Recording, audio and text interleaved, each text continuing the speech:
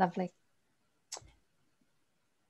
Hello, everybody. Um, welcome to our Making Sense of Merkel Cell Carcinoma um, webinar today. And um, I'd like to start off with um, welcome to country. And I'd like to acknowledge the traditional custodians of the land on which I work and live, which is Guringai and Gadigal of the Eora Nation, and recognise their continuing con connection to land, water, and community.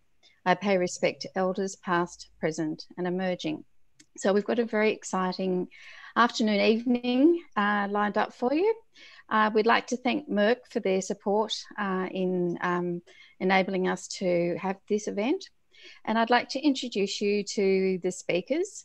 Uh, so we've got Dr. Wen Xu, and Dr. Wen Xu is a staff specialist medical oncologist at um, Princess Alexandra Hospital in Brisbane and specialises in breast, lung, and skin cancers and has a particular interest in Merkel cell carcinoma. He's also been um, a melanoma and immuno-oncology fellowship and at the Peter MacCallum Centre in Melbourne in 2016. And at the moment, he's CIA of the MRFF funded IMAT trial, which uh, we will hear some more about. Our next speaker is Professor Gerald Fogarty, who is um, Director of Radiation Oncology at the Mater Hospital here in Sydney. Um, he also, well, he trained at Peter MacCallum and he's a radiation oncologist with the Mel Melanoma Institute of Australia. He's been an author of multiple um, radiotherapy uh, papers, and he is also um, on the a board member of the Melanoma and Skin Cancer Trials Group and chair of the Australian Merkel Interest Group. And our final um, professional speaker is Richard Tothill, who's a research scientist and head of the Rare Disease Oncogenomics Laboratory within the Department of Clinical Pathology at the University of Melbourne. Um, his work has been highly translational with a focus on the adoption of uh, breakthrough genomic technology for discovery and clinical applications. And he currently leads collaborative research and national clinical studies on rare diseases, including cancers of unknown primary Merkel cell carcinoma and other you know, neuroendocrine malignancies. And our final speaker is uh, Jonathan Pincus, who is going to give his um, patient perspective, and he is also the chair of the consumer group that's um, affiliated with Amigos. Behind the scenes, we've got Kate Wakelin, who is doing a lot of our technical support and um, going to make sure that this all runs beautifully smoothly. And we've also got Simone Leyden, who is our CEO and co-founder of Neuroendocrine Cancer Australia, and she is going to be looking after the um, Q&A section.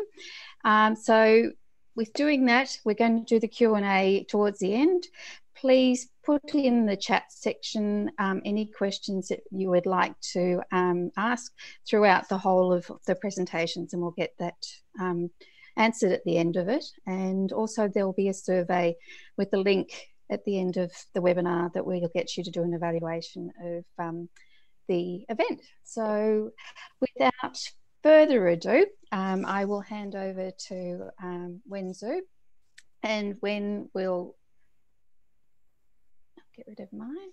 and be talking about what is Merkel cell carcinoma and medical oncology management. Thank you, Wen.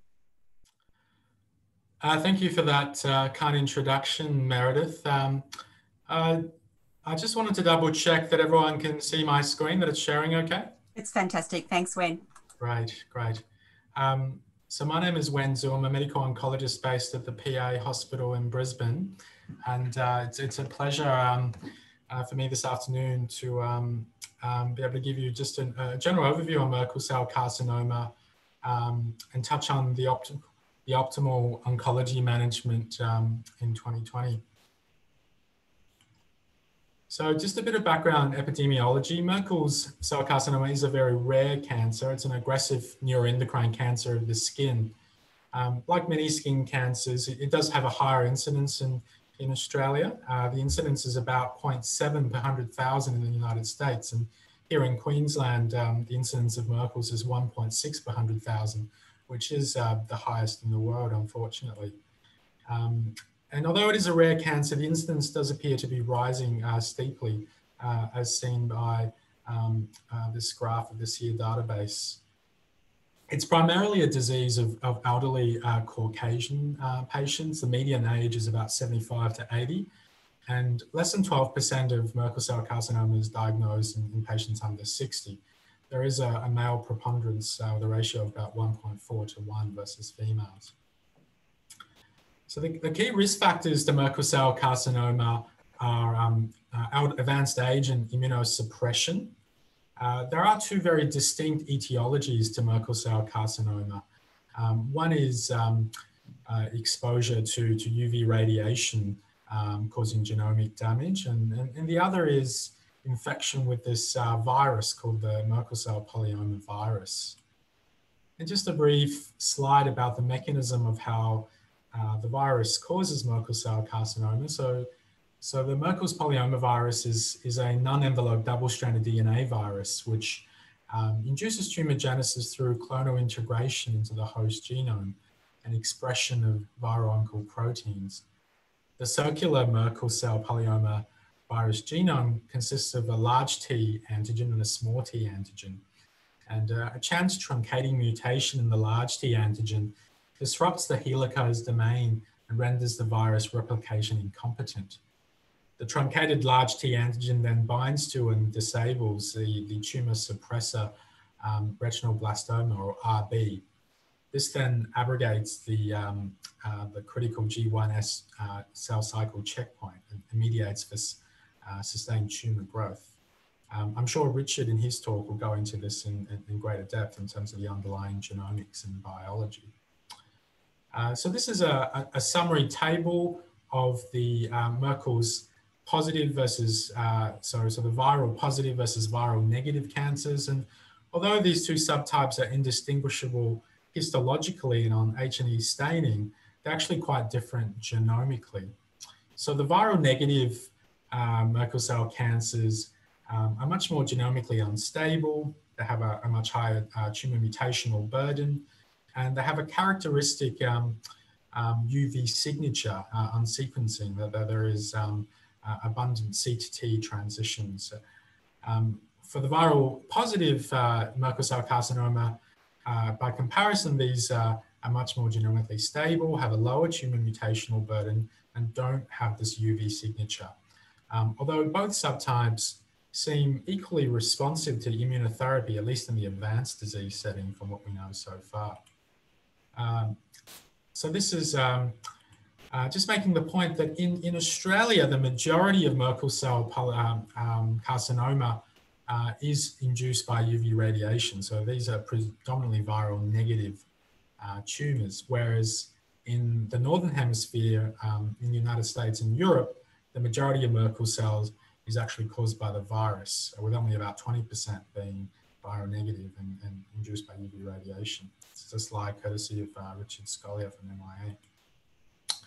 So just a summary of um, some clinical features of Merkel. So Merkel's usually presents as a painless, rapidly growing erythematous or violaceous nodule, predominantly in sun-exposed areas of the skin, such as the head, neck, or extremities. There are some pictures here of what it might look like. As you can appreciate, you know, it is such a rare cancer, and with this sort of appearance, there's actually quite a number of differential diagnoses. And, and, and and um, you know, if you encounter this in, in, in, primary practice, Merkel's is probably not the first thing that comes to mind. And as a result, often it can be diagnosed late or misdiagnosed. But the acronym that's used to describe its characteristics is basically um, the uh, a list of the vowels. So A, E, I, O, U. A being asymptomatic, uh, as in it's not normally painful. E for expanding rapidly, it's certainly a faster growing aggressive malignancy. I for immunosuppressed, uh, O for older than 50 and, and UV, U for UV exposed sites. So on histology, um, Merkel's is composed of small round blue cells that um, express neuroendocrine markers such as synaptophysin and chromogranin A. Um, so on H&E, it, it, looks very similar or is indistinguishable from uh, small cell uh, lung cancer. However, it can be distinguished by through immunohistochemistry classically being positive for CK20 and negative for CK7 and, and TTF1. So Um, all cancers are, uh, have their prognosis and, and, management determined by their staging, and, and, and Merkel's is no exception. Uh, this is the latest version of AJCC 8th staging for Merkel cell carcinoma. Uh, it's quite logically divided into uh, the T and M um, paradigm. So T for tumor, M for lymph node, and M for metastasis. Basically, stage one and two Merkel's is local disease, so where the tumor is confined just to the skin primary, stage one being less than two centimeters, and stage two being greater than two centimeters, so very straightforward. Stage 2B further denotes patients that, as primary tumor uh, invades uh, underlying structures such as bone, muscle, fascia, or cartilage. Stage 3 disease denotes nodal involvement, with 3A being pathological nodal involvement, meaning that um, you can't obviously clinically detect nodal involvement, but it's detected microscopically, usually through sentinel lymph node biopsy. Stage three being being macroscopic nodal involvement. And stage four is distant metastatic disease.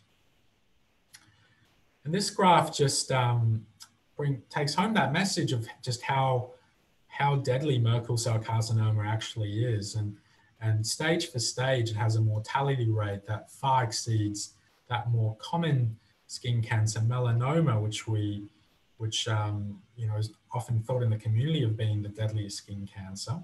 So uh, in purple, you have the five-year survival by stage of melanoma. Uh, as you can see, for stage one and two melanoma, the five-year survival actually is excellent, over being over 97% for melanoma. In blue, you have the five-year survival for Merkel cell carcinoma detected by pathological staging. And in green, you have the five-year survival by clinical staging. So the clinically staged patients do do worse because a proportion of them have occult nodal disease that's not been detected. And as you can see, even for stage one disease and stage two Merkel cell carcinoma, this five-year survival is really appalling. Um, it's around 50% for local disease and around, only around 30% for stage three disease. So just a brief summary on, on treatment options for local regional disease. Um, so the, the issue with the challenge we've had in Merkel's is, is always that uh, there's really a, a, paucity of, of good quality prospective randomized controlled trials because of how rare the cancer is and because often patients also are, are elderly comorbid patients. It's been very difficult to do good quality controlled trials. Uh, so Clinical re recommendations are often based on large retrospective studies and small single arm prospective studies and expert opinion. For local regional disease, that is stage one to three disease, this is generally treated with a combination of surgery and or radiotherapy. Um, in the Northern Hemisphere, surgery is probably more often used as the primary modality for managing Merkel's, whereas here in Australasia, uh, radiotherapy is employed more often certainly Merkel's is a very radiosensitive disease and, and Gerald, who will um, speak later, may go into this in more detail. Um, but essentially, uh, it's not essential to, when you operate on Merkel's, to have uh, clear or wide margins, especially if functional cosmesis can be compromised, as is often the case in, in head and neck primary cases, because margins can be salvaged by, by radiotherapy and it's it's it's entirely appropriate in some cases to just give definitive radiotherapy, especially in um, cosmetically sensitive areas or in, in, comorbid patients that may not tolerate surgery. Um, but despite optimal local regional uh, treatment, the, the key problem with Merkel's is the high risk of death from systemic failure, even for early stage disease. So the promise of immunotherapy. So there's been strong evidence linking the etiology and prognosis of Merkel's to, to cellular immunity for a long time. So the, the first observation is that uh, conditions of chronic uh, T cell immunosuppression, such as HIV or hematological malignancies or solid organ transplant, does increase your risk of developing Merkel's by 10 to 30 fold. And there are spontaneous reports of patients who develop Merkel's when you um, withdraw or withhold their immunosuppression, they do get spontaneous regression of the disease. Um, and more direct evidence of a tumor-specific immunity uh, is shown by the presence of TILs reported, so tumor-infiltrating lymphocytes reported in around 20% of Merkel's cases, with uh, certainly a high CD8 cytotoxic T cell count being predictive of survival. again, Richard may, may have more to add to this um, in his talk. So targeting uh, the PD-1 to PD-L1 T cell checkpoint has, has proven to be highly effective for advanced Merkel's. Um, and so this, uh, this is a diagram showing the, um, the PD-1, PD-L1 axis. So um, just in brief summary, this is probably um, as a, a, is probably the most important uh, advancement in in, uh, in medical oncology, at least over the last 10 years. And basically works on the principle that your immune system usually is able to, to, to take, take care of and um, most subclinical cancer, um, but um, your immune system has inherent mechanisms to um, stop it from um, basically, you know, sort of becoming activated in an unregulated fashion, as in there are intrinsic breaks uh, in your own immune system to stop it from uh, attacking healthy tissue and, and, causing autoimmunity. And one of these important uh, checkpoints is the PD-1 to PD-L1 axis. Um, and if you can have an antibody, so classically the PD-1 is present on T cells and PD-L1 on tumor cells, although the, the truth is much more nuanced than this. But if you can develop an antibody which blocks this pathway, this then reinvigorates your immune system, takes the brakes off your T cells to then recognize and fight the cancer. So prior to 2016, chemotherapy was the standard of care in metastatic Merkel's. And although chemotherapy can shrink your cancer, it does have a, a robust rate, uh, robust response rate in the order of 30 to 50%. Generally, this response is very short-lived, on average only around three to five months. And on generally, patients only live around uh, an average of 10 months uh, with chemotherapy in the metastatic disease setting. But since then, there's been a number of studies, generally single um, um, phase two studies uh, across various immune checkpoint inhibitors, so PD-1 or PD-L1 inhibitors, pembrolizumab, nivolumab, and avelumab. Uh, in total, uh, close to 280 patients now assessed that have shown that immunotherapy is remarkably effective. So response rates, um, and, and, by response rate, I mean the chance of the treatment shrinking the tumor by at least 30%, um, response rates being around 40 to 70% when you use immunotherapy upfront as the first treatment in metastatic disease, and 30% when you use it in patients that have already progressed on chemotherapy. But what is truly remarkable is the durability of these responses. Um, so with pembrolizumab, for example, um, you have a medium duration of it, um, of a working of, of 17 months with a, a two-year survival of, of, close to 70%, which is just unheard of in metastatic Merkel's um, in the chemotherapy era. And with avelumab, which is the drug that's approved in Australia, um, and this is in a, a chemo-resistant setting, so um, a population that traditionally has a very poor prognosis, we now have three-year follow-up data showing that uh, about a third of the patients are still alive and doing well, which is truly remarkable. And so this is just going through some of the, the, studies that I mentioned in detail. So this is the avelumab study called the Javelin Merkel 200. Um, so it was divided into part A and B. Part A was uh, initially in patients that were heavily pre-treated that had progressed on chemotherapy. Part B was in, in what we call first line metastatic patients, so patients that haven't had any treatment uh, once they've developed metastatic disease. Um, so the data for part A, which is the chemotherapy pre-treated group, is more mature. Um, so this shows what we call the overall response rate. So that is the proportion of people who had a tumor shrinkage of greater than 30%. So there was a 33% response rate and and 10% of the people actually had a complete response. That was the tumor was completely gone. And this is a, a plot really just showing the subgroups of patients that benefited. And as you can see, really all groups benefited. So regardless of whether um, you know you had visceral disease or not, regardless of whether your tumor had expression of this PD-L1 um, um, uh, or not, and regardless of whether you were viral positive or viral negative. Um, regardless of what line of treatment you seem to benefit, although um, as is generally the case in oncology, using the, the therapy earlier when patients are, um, are in better shape does, does have um, um more efficacy. And this is showing the overall survival uh, using avelumab compared to chemotherapy. So chemotherapy in the blue and green line, as you can see, um, it's really quite an abysmal survival curve with almost everyone falling off the curve um, before 10 months. Whereas with um, avelumab, um, there's really a durable response. And we've got data now up to three years now where it really appears to plateau. And this is a, a table summarizing the side effects that you get from avelumab. Um, so there are a number of potential immune-related side effects related to, to do when the immune system gets a bit overactive and attack, accidentally attacks your healthy tissue.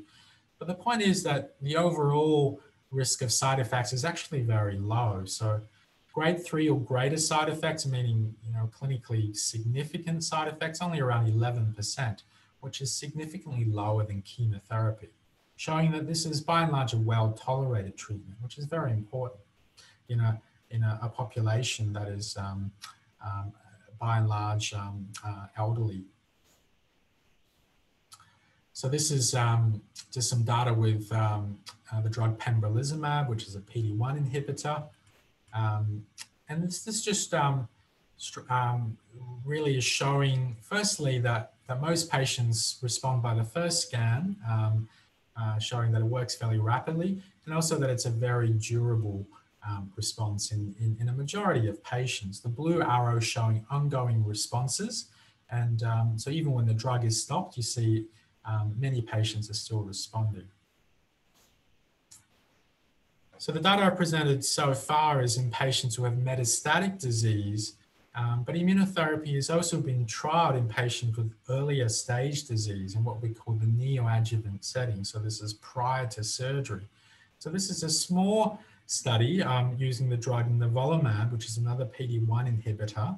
And this is enrolling patients that have resectable disease. So these were mostly stage three patients, although there was a handful of stage two and four. And this trial gave these patients just two doses of the immunotherapy nivolumab over four weeks, and then they had surgery at the end of the month. And what they found was that even just with two doses of immunotherapy, they had quite a high response rate when they looked at the pathology after they did the surgery. So about half the patients actually had a complete pathological response, even just after two doses at surgery. And another 15% or so had what's called a major pathological response, which is that there was only less than 10% of viable tumor left. Overall, about 65% of patients had a pretty good response just with two doses. Um, and this is um, showing that, you know, with the overall population at about two years, about 70% of them were still free of Merkel's. But if you had a response to, to immunotherapy, you did remarkably well. So the blue curve here is if you have a pathological complete response to immunotherapy, and the red curve is that if you don't respond, as you can see, the difference in whether you progress at two years is really massive. In fact, at a follow-up of 20 months, not a single patient with a pathological complete response of Merkel's has relapsed. Um, the, the one patient that's dropped off the curve here died of an alternative cause rather than Merkel cell carcinoma. So historically, this is a group of patients that at two years, probably about 50% would relapse. But if you respond to immunotherapy, as you can see, you do remarkably well. And, and neoadjuvant immunotherapy is, is um, you know, really um, you know, a very exciting uh, way to manage these patients because, as you can see, you can get an early readout of whether the treatment is effective. So this is um, just a summary of the, um, the NCCN guidelines um, showing what the best standard of care is now in 2020. And, and for metastatic, um, the first thing to say is that, you know, this is a, a, a rare cancer um, that often requires multidisciplinary input. And ideally, all Merkel cell carcinoma patients should be referred to and discussed at a, a tertiary hospital that has one of these uh, multidisciplinary meetings. Um, um, obviously, with any, any, any cancer, if available, clinical trial is always the preferred means of treatment. Um, but in the absence of that, in terms of systemic therapy, immunotherapy, either with avelumab or pembrolizumab or nivolumab, should be the standard of care. And in, Australia, avelumab is the only drug that's approved for Merkel cell carcinoma that's funded by the PBS. Um, but for patients who've progressed on immunotherapy or for whatever reason that are not suitable for immunotherapy, and then uh, chemotherapy still has a role in terms of palliation of symptoms, although it's not a great treatment. So, so as, as I've shown, anti-PD-1, PD-L1 based immunotherapy has rapidly displaced chemotherapy and is, is the standard of care now for advanced Merkel cell carcinoma because of the vastly superior durability of response and the, the better tolerability in terms of less toxicity. Um, Avelumab was FDA approved in the United States in March 2017, being the first drug to, um, to achieve the status in Merkel cell carcinoma. Pembrolizumab followed suit in December. And here in Australia, since May 2019, Avelumab has been on the PBS for us to use. Uh, but this is only in stage four metastatic disease. Um, and the benefit of immunotherapy as an adjuvant treatment in early stage Merkel's is still unclear. Um, and this, this is just a graph to uh, reinforce the fact that, firstly, um, only about 8% of patients with Merkel cell carcinoma will first present in metastatic disease. The remainder, over 90%, will actually present in local regional disease. So 65% will present with local disease only, and about a quarter will present with nodal disease. And you can see the, the prognosis of these patients. So at, at five years, even with, with stage one disease, you have a 50% chance of dying. Uh, and stage three disease, um, you have um, really only, you know, uh, uh, you have a, a, greater than 70% chance of dying. Now, it's important to note that because Merkel's often occurs in, in a re relatively elderly population, um, no doubt some of these patients are dying of comorbid conditions rather than Merkel cell carcinoma. But even if you follow good quality single institution recurrence data, um, patients with local, so stage one to two disease, still have a 30 to 40% chance of relapsing at two years, and patients with nodal disease have a 50% chance of relapsing. So it's a great unmet need. Um, you know, as I said earlier, it's local regional Merkel's is an abysmal prognosis. And we know in other cancers, such as melanoma, for example, where immunotherapy initially showed great efficacy in the metastatic setting, we've managed to bring that into the early stage adjuvant setting where it's shown that it can increase um, cure rates. So, so really, um, you know, this is a great unmet need where there's currently not any therapy. And, and, and this is what we're trying to address um, with the IMAT trial, which is a, a, trial that we're leading. So this is an Australian cooperative group trial that's funded by the MRFF. Uh, so it's an academic uh, trial looking to enroll patients with stage one to three Merkel's um, and randomizing them to six months of immunotherapy versus placebo. Uh, there are a number of stratification factors really to make sure that both arms are balanced in terms of local regional uh, management. But really, this trial we deliberately made it very flexible and very loose in terms of what local regional treatment is allowed, recognizing that the treatment for Merkel's is, is heterogeneous and that um, you know you can have a combination of either surgery or radiation. The primary endpoint of this is, is relapse at two years and a number of secondary endpoints. And um, to, for it to be a, uh, a scientifically sound study, this study needs to be randomized against placebo but we are comforted by the fact that in Australia, at least, um, if you do develop metastatic disease later, you can still access avelumab in that setting. Um, and this is just a list of the contact details for this trial. So there's a site open uh, in every capital city and, and, and, several sites in the bigger capital cities, as well as some regional centres such as Newcastle or Townsville. So we're really hoping that um, you consider this trial for your patients. Um, and this is another slide to um, just to promote another MRFF funded Australian academic trial called the Gotham study, uh, led by uh, Shahneen Sandhu at Peter Mac. And, and this study is leveraging on the fact that firstly, Merkel's is a very radiosensitive disease.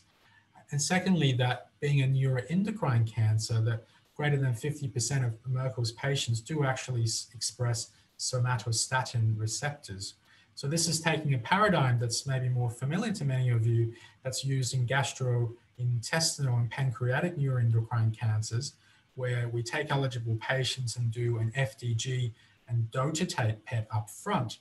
And for the patients that have significant dotatate uptake or concordant dotatate and FDG uptake, these patients, they can get randomized to either immunotherapy plus lutetium PRT versus uh, immunotherapy um, plus uh, radiotherapy. The patients that are that don't express somatostatin analogs still get just immunotherapy and radiotherapy. Um, and this is because while immunotherapy works very well, still a significant proportion of patients, you know, up to 50%, won't have durable responses. So we can still certainly improve the game here. So last slide, just in terms of future directions.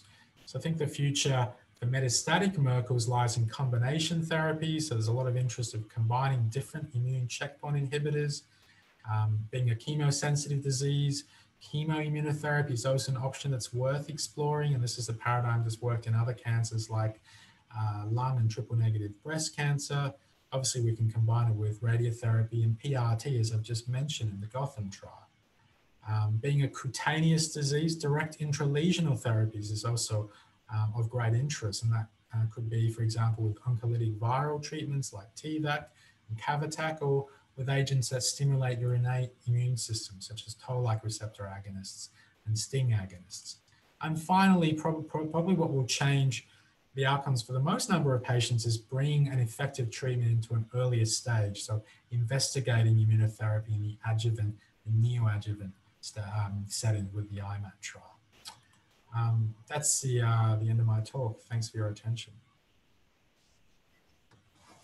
Thanks very much, Wen. It's um, it's amazing the advances that have um, come along for Merkel cell, uh, which was a cancer sort of I know about 15 years ago. There were not very many options, so um, it's fabulous to see how much we've uh, progressed and how much work's going into looking after Merkel cell patients. So our next speaker, I'm sorry, Wen, was there something? Have I uh, unshared my screen? Just having a little bit of a glitch here. Hopefully no, you're still not. on there.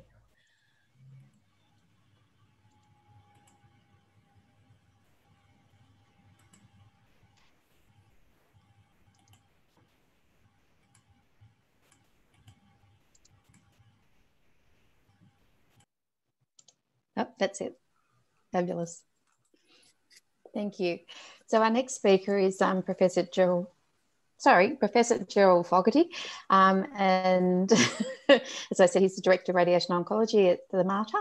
And he's going to present pathways in radiation therapy. Thanks, right, I'm just going to share my screen. I hope I get the right thing here. Here we go. Great. So hopefully you can see that there. This should be yes. a, a, fairly bland screen of uh, pathways and radiation therapy. I was trying to get the full the um, full show here. There you go. Great. So, so my, my role is to talk about radiation therapy and the pathways that people take in order to get treatment here in Australia. So uh, it's great to be here. Thanks very much for the introduction and to be part of this great panel. So so a bit of a preamble, uh, went or, or, already been through some of this. Uh, it's good to remember that Merkel was only really described in 1972. So there are people still out there practicing medicine uh, who, who got educated uh, around this time who, who this would not have been addressed in the undergraduate uh, curriculum. So it's uh, quite interesting to know that there are people out there who may not have heard of Merkel. The incidence is rising, as Wen said. Many still think of, of, Mer of Merkel as melanoma and there are some similarities. It is a skin cancer. Uh, the causation can be sun related.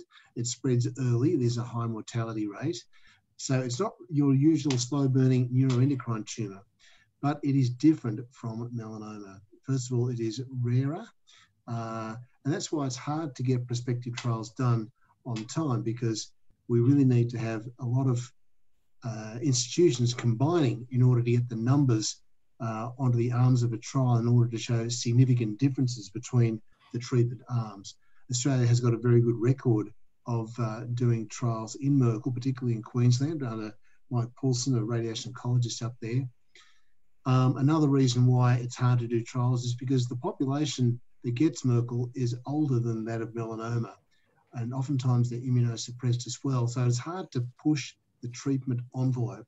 So some of our oncology treatments are very aggressive, uh, and you do need to have patients who are fit enough to take the treatment, but oftentimes they are not, and uh, and a more palliative approach is taken uh, in order to treat symptoms rather than to go for cure, because we know that some of the patients would not survive the treatment um, for this disease, let alone survive and then get some benefit out of the treatment. It is sensitive to chemotherapy and radiotherapy. With radiotherapy, needs a certain dose in order to be effective. Uh, there's really no role for wide local excision. Uh, in fact, doing wide local excision can delay time for therapy. So when people are referred to someone with Merkel, they think it's melanoma. They do a wide local excision. It takes a while for the uh, for the uh, wound to heal. That time could be a time when the when the Merkel can spread rapidly through the body, and uh, that can actually be uh, a, a, a, negative for overall survival time. So there's a limited role of sentinel node biopsy. It certainly helps us radiation oncologists to guide radiation field placement, particularly in the head and neck sites where where we want to cover all the possible lymph node drainage.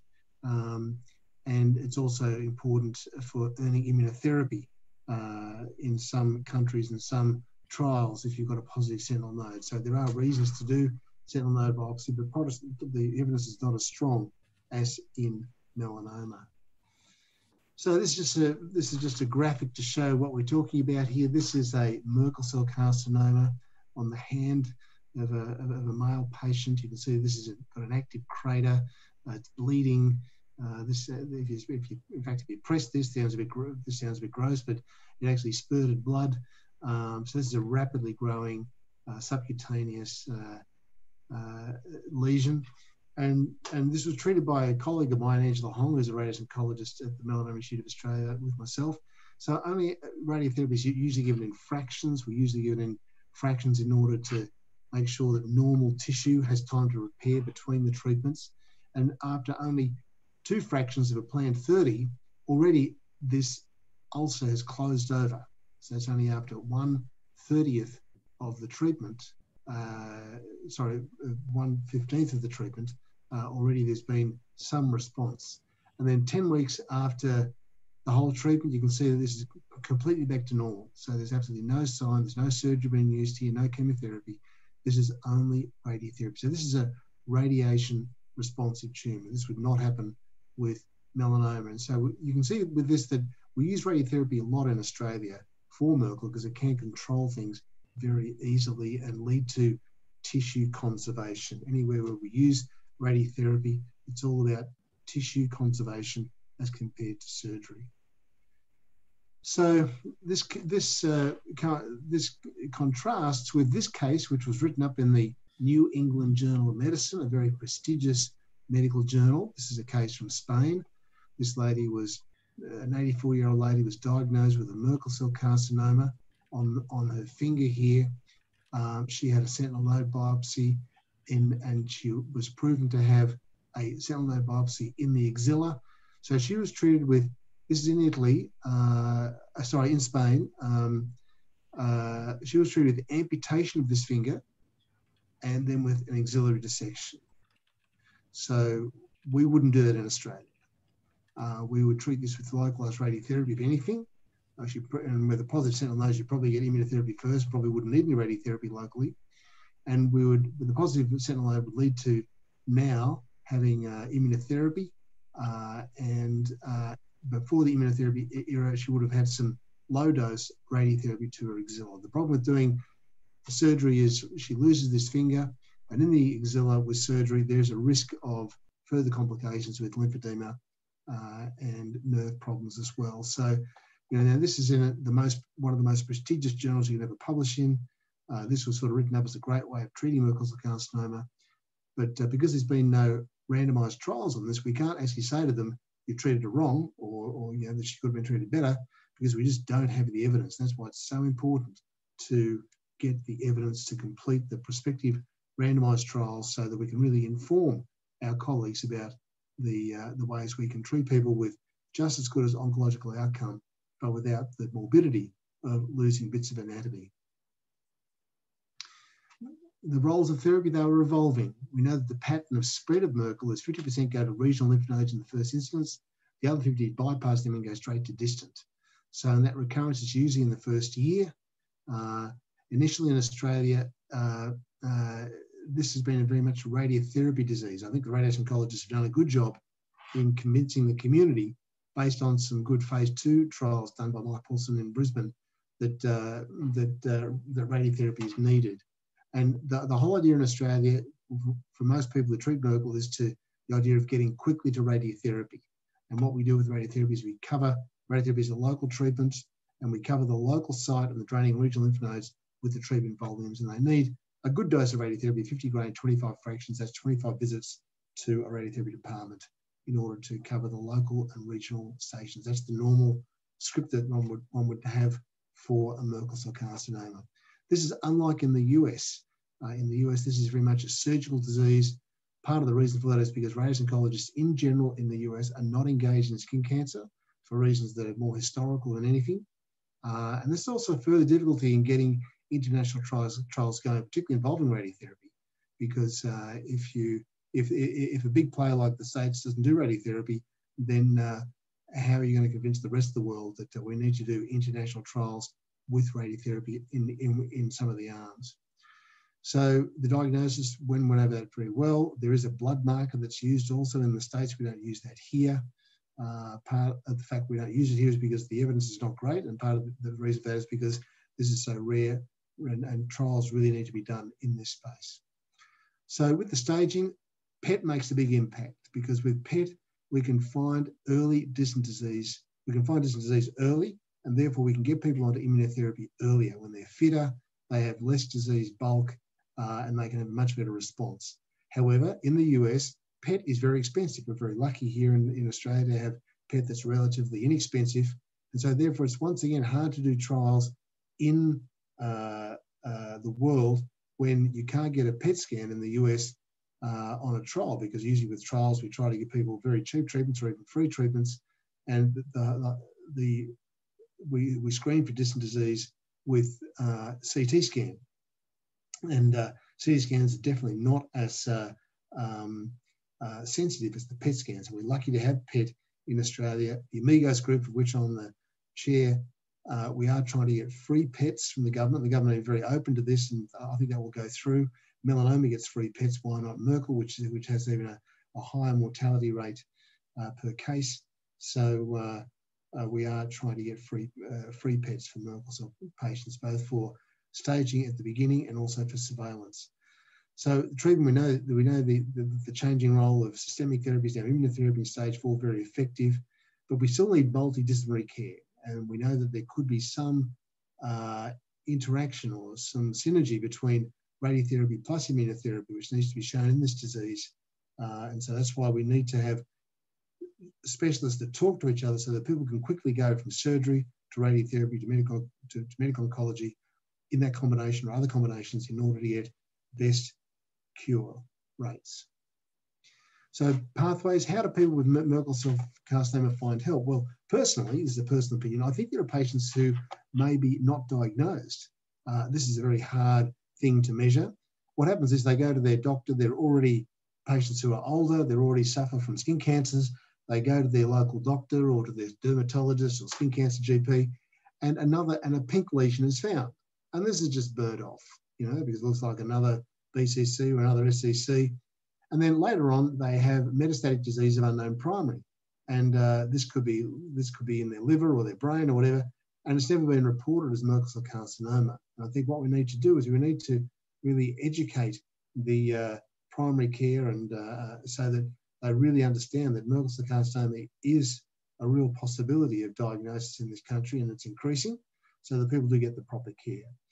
With the uh, if the histopathology, particularly of, of, of a metastatic um, deposit, this can be described as small cell lung cancer because this is exactly what it looks like. Um, and so people can say, well, this person died of metastatic small cell lung cancer without a primary being found in the lungs.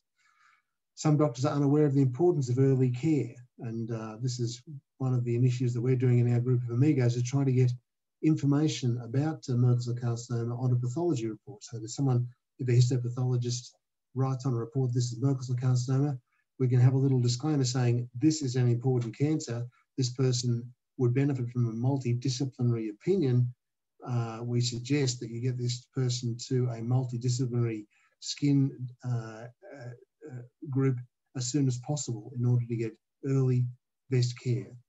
So in Australia, skin cancer is so common that it's looked after much of the time very well by community primary care. And multidisciplinary approaches in skin cancer are not usual like they are in breast and brain and lung.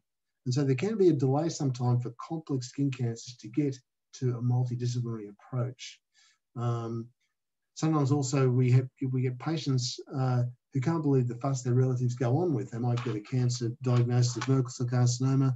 This is an older person. Their children or their grandchildren get onto the web. They look up Merkel cell carcinoma. They find, wow, this is really bad. You've got to get straight away to a multidisciplinary clinic. The patients can even delay themselves, saying, look, this is just a little pink lump I had on my arm or my leg or my face. What's, what's, what's the problem? So there certainly is a need for patient advocacy in this space. And uh, we've had great success with, with combining with Merck in order to get avelumab on the, on the, on the PBS, which has been a real boon for, for, for many people who are involved with Amigos. Uh, and so what we do need to sort of help the community uh, understand that this is a this is a cancer that needs to be taken seriously. So there are some trials. Wen, Wen went through this very clearly. There's the IMAT trial, which he's the principal investigator of. There's the Gotham trial, which Shahneen's running. Uh, but we really do need to help accrue to these trials. And we, this will help us to stop 84-year-olds losing fingers and axillary contents. Um, and uh, I'm, I'm, going to have a slide about the Amigos at the end, which will help explain those trials a little bit more, although Wen has done a very good job in doing that. So that's my, that's my presentation. Um, any questions about radiotherapy in, in Merkel or pathways, very happy to take them at the Q&A at the end. Thank you. Thanks very much, Gerald. That was um, very informative and look forward to hearing more about the Amigos in the um, session three, three along. So our next presenter is uh, Dr. Richard Tothill and he is going to talk to us about genomics, which I think is an area that a lot of us um, need to get a lot more information about, and it's a very exciting um, dimension of um, a lot of cancers. So thanks very much, Richard. Thanks, Meredith. I presume my slides are presenting correctly. Looking good, Richard. All good, thank you. Okay, so my job today was to talk about genomics. Um, I'm going to extend that a little bit to talk about the virus um, that Wen spoke about previously, the Merkel cell polyoma virus, and also just linking that back to the immunology um, because the genetics of this disease and the virus are actually very important um, in uh, determining the immune response in patients. Um, I guess just to note that I got into working on this disease and became interested about six years ago, and that came about through two mechanisms, I guess. Um, firstly, uh, the genetics. So I was actually studying a different or another entity called cancer of unknown primary, which actually Gerald touched on. And I found a, a, a Merkel cell carcinoma amongst a patient cohort, um, but only diagnosed through the genomics. Um, the genomic profile of this tumor is quite distinct, and, um, and we can use that to, um, we can use genomics as a diagnostic in that context. Um, and also my wife's uncle actually had a, a, Merkel cell carcinoma. It was around about the same time. And fortunately, he's had a very good response to radiotherapy and um, he's still very much alive and well to this day. So a, a, good ending there. Okay, so so I guess um, firstly to start, I mean, cancer is a genetic disease. It's caused by mutations um, that are either pre-existing um, in the germline of a, of a patient, is the gene, the DNA that's inherited from um, their patient, their parents. Um, and I guess, and most people have heard of hereditary forms of cancer or probably know someone who may be affected. And so a faulty gene can give rise to hereditary cancer. It's about five to 10% of all cancers are associated with some form of hereditary cancer. And then we see family clusters as well, which may not be related to a single gene, but perhaps uh, um, the, the contribution of many genes um, giving rise to family clusters um, and perhaps caused by what we call polygenic effects. Most cancers though are caused by um, sporadic, what we call sporadic disease and spontaneous mutations that arise in cancer genes over time. um, we acquire, we're all acquiring mutations as we age. Um, this is just the result of um, the fact that every time your cells divide, they need to replicate their genome and there can be mistakes made. And then we've got other uh, mutagens that can cause mutations in, in genes as well, or the DNA. Um, and this includes well-known carcinogens in, in tobacco smoke or exposure to radiation such as um, UV sunlight. Of course, oops, of course, we've also got a significant fraction of cases um, caused by viruses, and many of these um, viruses um, involve the transmission of genes actually into um, the, uh, the genome of the, of the host or the patient. Um, and these genes are not necessarily designed to cause cancer, but it's a it's an unfortunate consequence um, that those genes, which are normally there for replicating the virus, um, can can actually affect genes within the cell and and cause that uh, tumorigenesis to occur. So uh, I think it was Wen that spoke about some of these clinical features of Merkel cell carcinoma that gives us clues as to, to the etiology or what causes um, this disease. And I've just highlighted two things here, immune suppression and UV exposure. So on the basis of this strong association with immune suppression, um, two scientists formed a hypothesis that perhaps there was an infectious agent involved um, with causing this cancer. So these, these two scientists here is Yuan Chang and Patrick Moore, they're actually a husband and wife team um, who worked together. They've actually discovered two different um, uh, viruses that cause cancer, the Kaposi sarcoma associated herpes virus, and also the Merkel cell polyoma virus. Um, so the Merkel cell polyoma virus um, is, a, is, is, a, is a virus that's, um, that's uh, it's a DNA virus, very different to the COVID-19 virus that's affecting us all um, today. It's, uh, it's, it's, it's closely related to another virus called SV40, which has been very well studied um, and, and causes cancers in mice. It was thought for many, many years that SV40 also caused cancers in people, um, but this has pretty much been shown not to be the case. So the, the really um, interesting thing about the Merkel cell polyomavirus is that the infection is actually quite common in the, in the population. So a very few people actually develop Merkel cell carcinoma who are infected by this virus. So we know people are being infected because they have antibodies in the blood um, that are specific to the virus or viral proteins, um, or very specifically the Merkel cell polyomavirus proteins. Um, so by the age of 50, um, it's thought that up to 80% of the population um, would be infected or show evidence of infection. It's likely we, we can contract this virus um, in early childhood, perhaps playing in the sandpit with our friends, um, it's probably part of the normal skin flora and does no harm at all in most, in most um, circumstances and is probably shed from our skin as well. And this is how we transmit it. Um, it's innocuous and asymptomatic. There's no, no evidence of ill health with, um, with infection with the virus. Um, there's, there's no viremia stage, as, as they say. So Wen touched on the genomics of, of the virus itself, it's a small, it's actually got a very small genome. The coronavirus, the COVID-19 virus, actually six times as large as this. Um, this is a circular genome and it encodes um, a number of different proteins. Um, this early region here encodes proteins involved with um, the viral replication and the, the, late region codes for these um, viral capsid proteins, um, which encase the viral DNA. And so, as Wen mentioned as well, there's the large T and small T antigen. These are the potent oncogenes um, harbored by this virus. And the large T antigen um, binds to this retinoblastoma protein um, causing, which is involved with cell cycle progression. And so if you bind, the, when the large T antigen binds to RB, you get cell cycle progression and it causes the cells to proliferate. The small, the small T antigen is also quite potent. In fact, it's maybe more potent than the large T antigen, although both are required for tumorigenesis. And this affects other hallmarks such as um, cell growth uh, um, of the cancer cells. So how does this, how does this, um, how does, what is the, the route to pathogenesis? Well, we're probably likely infected during early childhood, as I mentioned, perhaps with immunosuppression, the virus gets reactivated, or it's just a spontaneous thing that happens. One interesting thing that needs to happen with this um, to become oncogenic, though, it needs to be incorporated into the genome of the host cell. This doesn't normally happen. This, the virus normally exists outside of um, the nucleus of the cell um, and doesn't get become incorporated It then needs to acquire a mutation. It takes out this helicase domain, um, which is important for viral replication.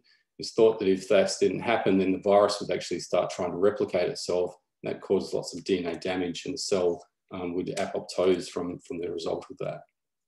Perhaps with the, the, the collaboration between um, the large and small T antigen, um, this is enough to start causing early stages of tumorigenesis, but it's highly likely um, that other genetic events also happen in the, in the genome of the viral positive tumors um, to, to cause full-blown disease and for these things to become malignant.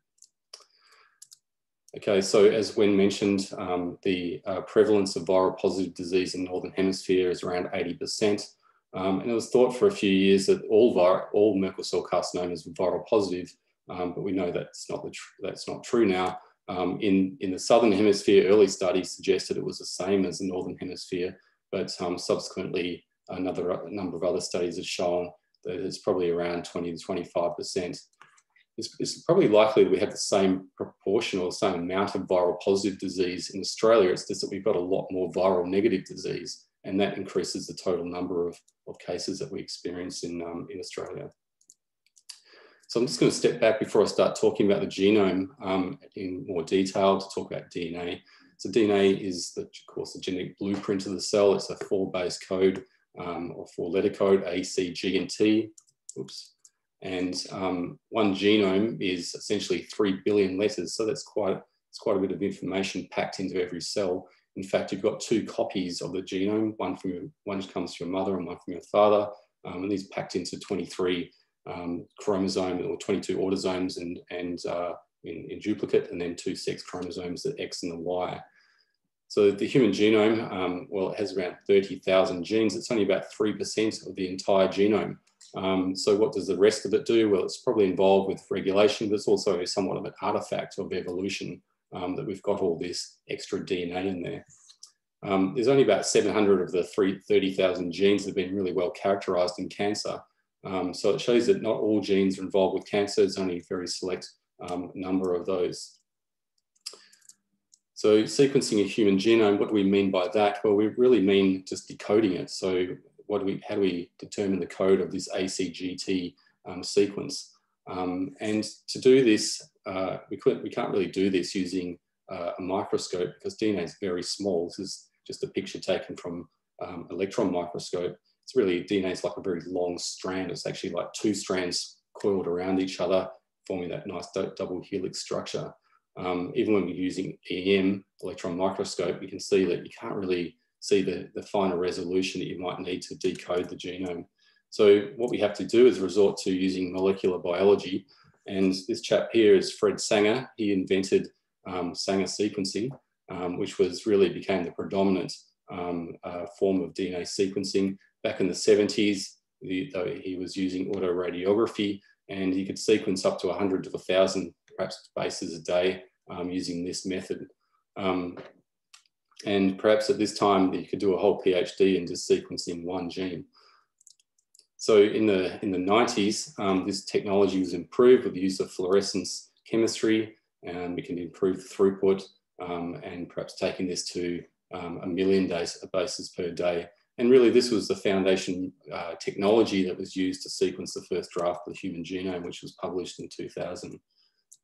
Now we've got this technology called next generation sequencing, um, really uh, miniaturizing uh, the sequencing um, using better fluidics, um, better chemistry, um, and, and high computing power.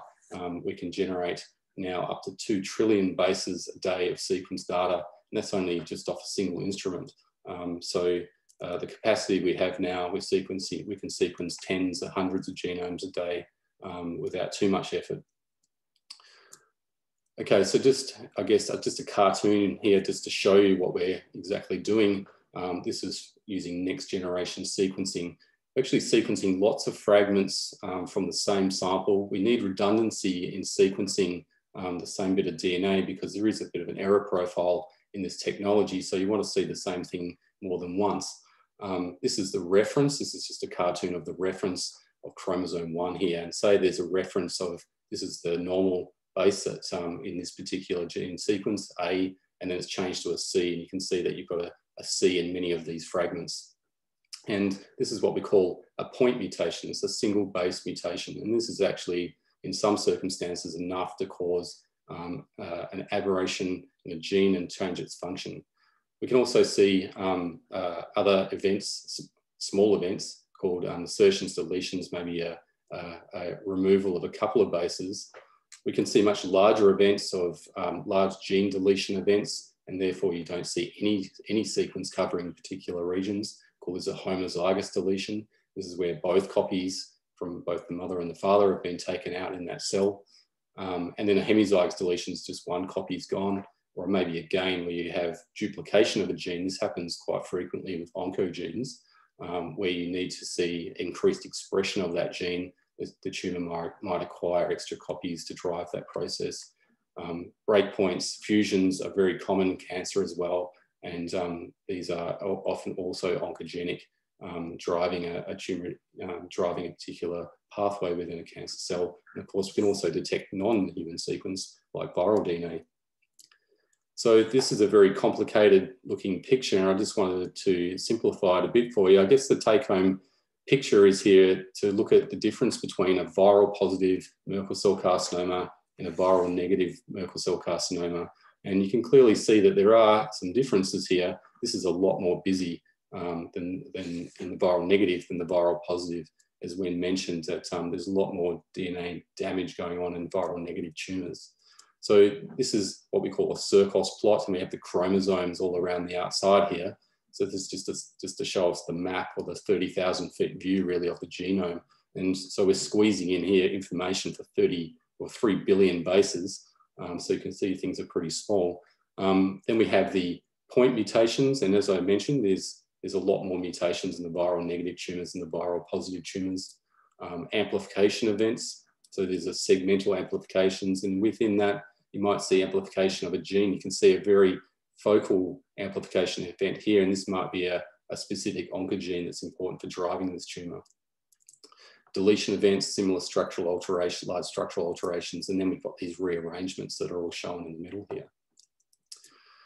Okay, so this is a study we published back in 2015. And it's really just, I'm just showing you here to, so, to, to say that, you know, we've looked at many different, camp, uh, many um, different individuals with Merkel cell carcinoma to sort of show that pattern that you have um, commonality of, of much, of many more mutations in the viral negative tumors and viral positive tumors. Um, this this little map here of this, of this man is to show um, where all these tumors arose from. And you can see that many of these viral negative tumors shown in gray arise in more sun exposed regions. So what's causing all these mutations um, in the viral negative tumors? Well, as it's been mentioned previously, that um, sun exposure is um, the prime candidate here.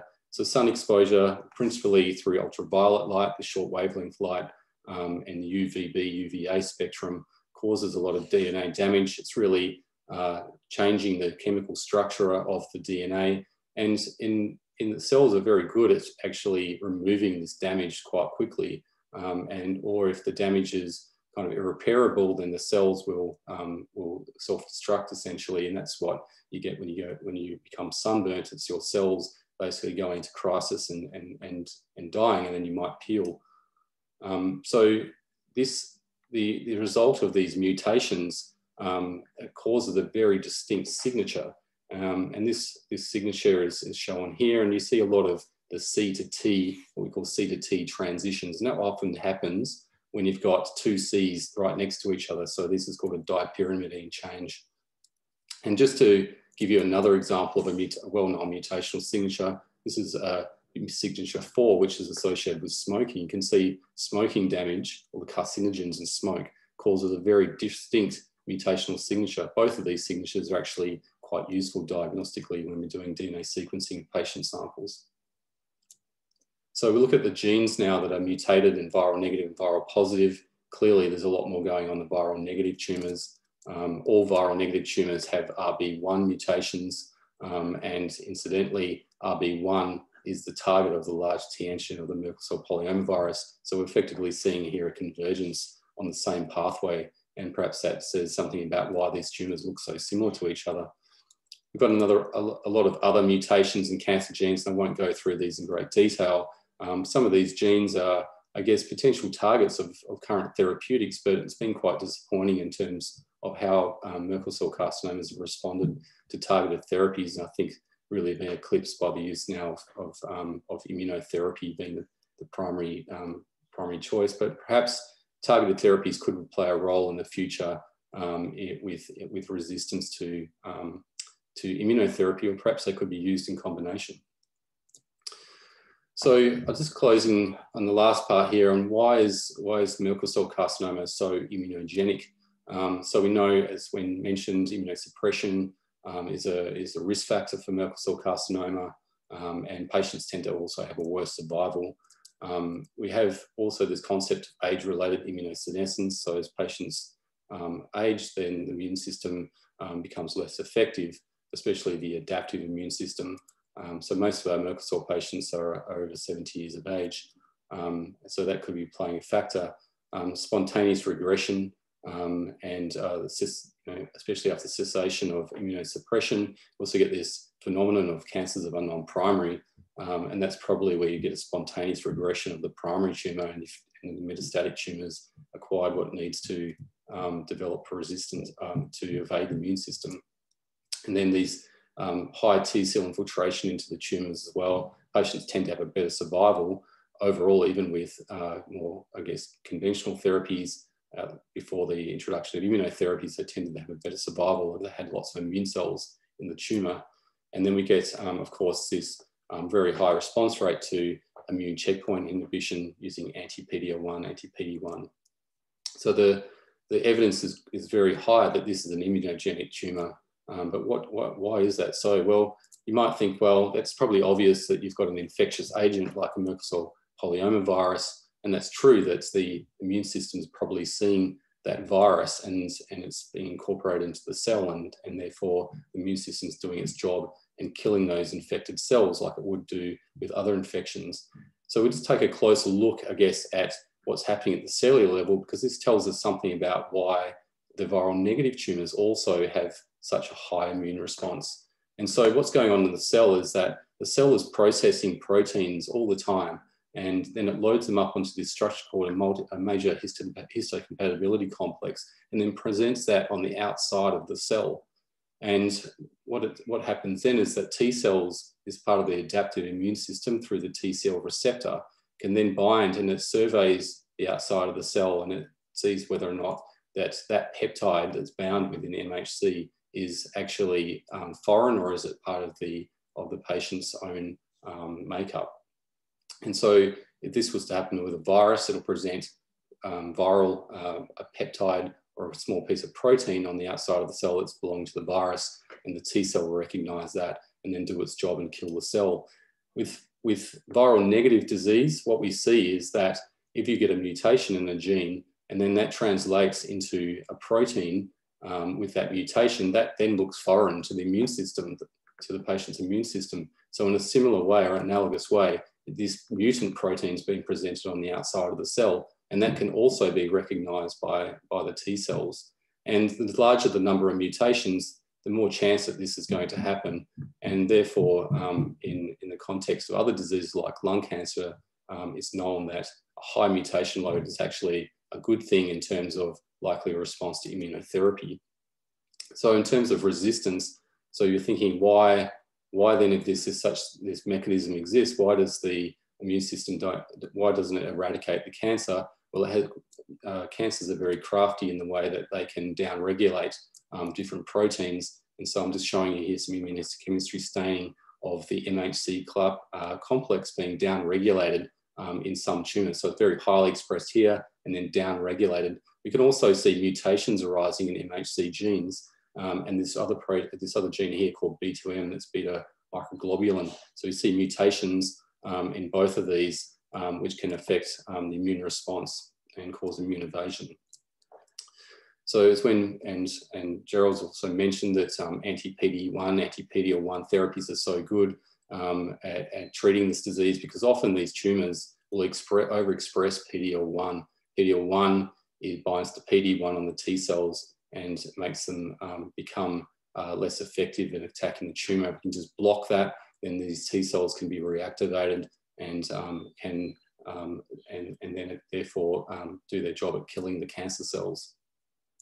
So this is just a, a stain that we've done of one of the um, one of the patient samples that we've we've analysed, and you can see very high PD-L1 expression um, uh, within the tumour here. These are all tumour cells on this side. This is all normal stroma which surrounds the tumour, and it's like almost like a wall that it sets up, um, blocking um, the T cells or or, or um, uh, making them less effective. Um, and here we've got lots of T cells that are invading into the tumour. These are these yellow dots here, um, different types of T cells invading into the tumour. In fact, a very interesting story that I won't share with you today, but uh, occasionally these other types of T cells, what we call unconventional T cells, can be important um, in some of these tumours as well, which um, are likely to be seeing the tumours through a completely different mechanism. Anyway, that's a story for another day. So just in summary, um, two distinct subtypes of Merkel cell carcinoma, um, the viral positive, low mutation load, predominantly virally driven, the viral negative, high mutation load, and many gene drivers. Um, and these, uh, the viral negative, of course, are more common in Australia um, owing to our uh, exposure to the UV light. Um, both subtypes acquire mutations in genes um, that cause the hallmarks of cancer. The polyomavirus has its T antigens driving that, um, but the viral negative, we have in UV-induced mutations in key oncogenes and tumor suppressor genes. Um, and the Merkel cell carcinomas are very immunogenic and they're highly responsive to immunotherapy. And this is because the immune system sees both of these um, tumors as being foreign, um, either because of the virus or these neoantigens caused by mutations. Um, and of course, the escape mechanisms, one of the primary escape mechanisms the tumor has is expression of PD-L1. And of course, we can now target that using immunotherapies. So I'll just conclude there and thank you for listening.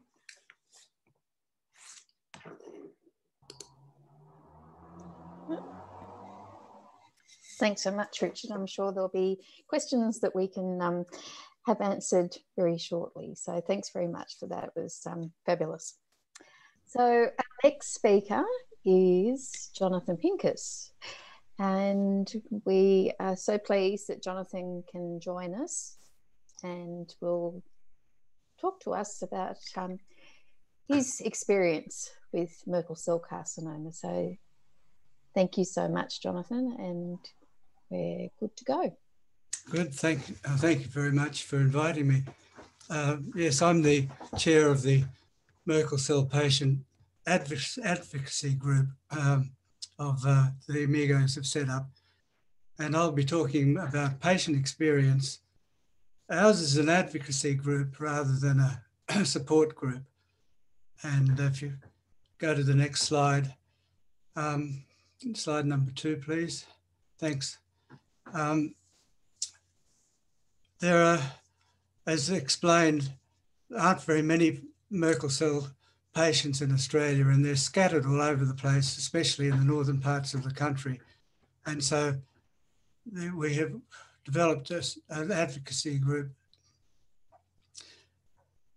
Its main success so far has, as Gerald mentioned, uh, helping convince the government to put uh, Avelumab on the PBS uh, for Merkel cell patients with uh, metastatic disease.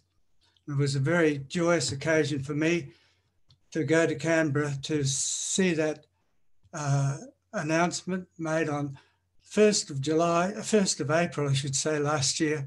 Wasn't April Fool's at all because the Prime Minister and the Health Minister of Health were announcing something marvellous for us. And as Gerald has mentioned, we're still pushing hard to get free PET scans the same way as melanoma. Now, I'm going to talk not about patients' experience in general. I've uh, listened to a number of patients tell their stories, but I'm not really going to try to summarize. Instead, I'm going to talk about my own story. Stories I've heard from others include stories from clinicians, some of them, as Gerald has, has indicated, are rather miserable. so I'll talk about my own. Next slide, please.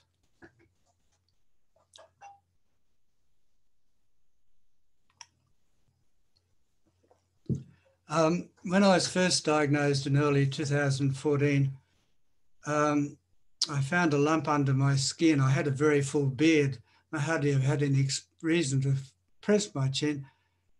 Uh, after needle biopsy uh, and uh, the excision, we had this uh, struggle to decide what it was and whether it was small cell carcinoma or no, it was Merkel.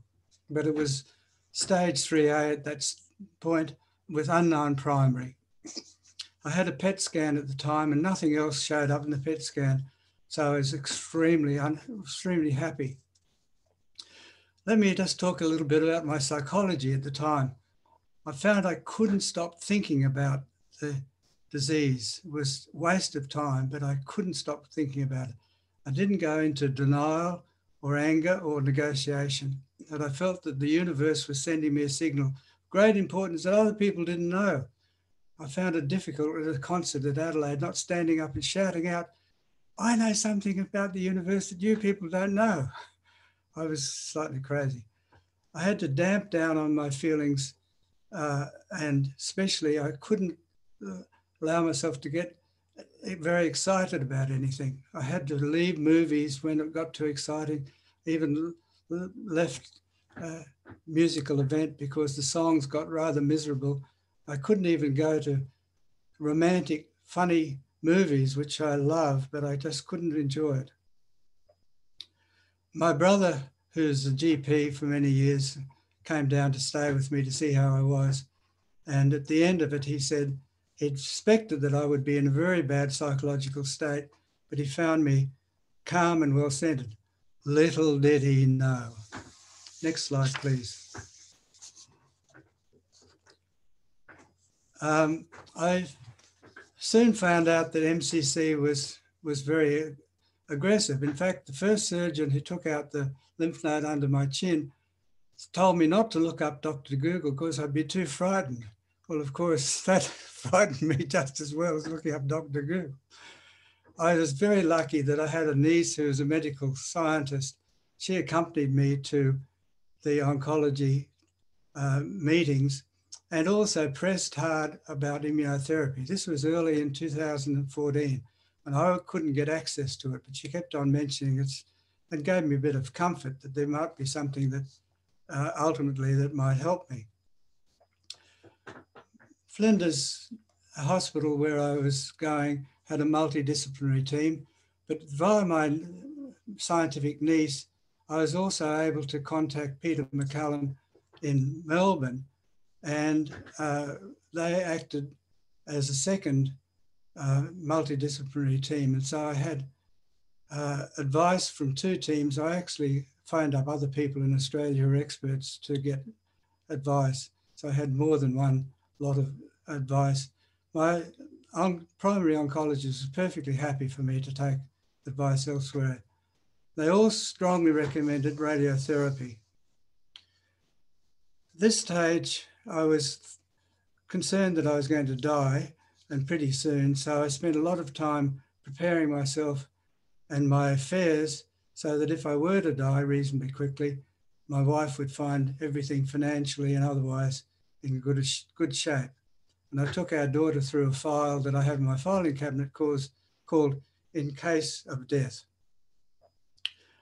I've determined to keep myself as busy as possible. I continued at work, both paid and unpaid, and I exercised like mad, bicycling three or four times a week, going to Folks Gym, singing, and gardening. Next slide, please. I started radiotherapy after uh, a bit of a delay because uh, the facility was too crowded, which I learnt later on could have been de detrimental to me, but I suspect it wasn't actually. I found it extraordinarily challenging. Um, first thing that happened was I threatened to lose some of my teeth, but the trauma trauma dentist at the hospital had to see which ones should be extracted before radiotherapy. And fortunately, in my case, there were none. The radiotherapist was very careful to explain what the side effects would be, but I just didn't, they caught me unaware.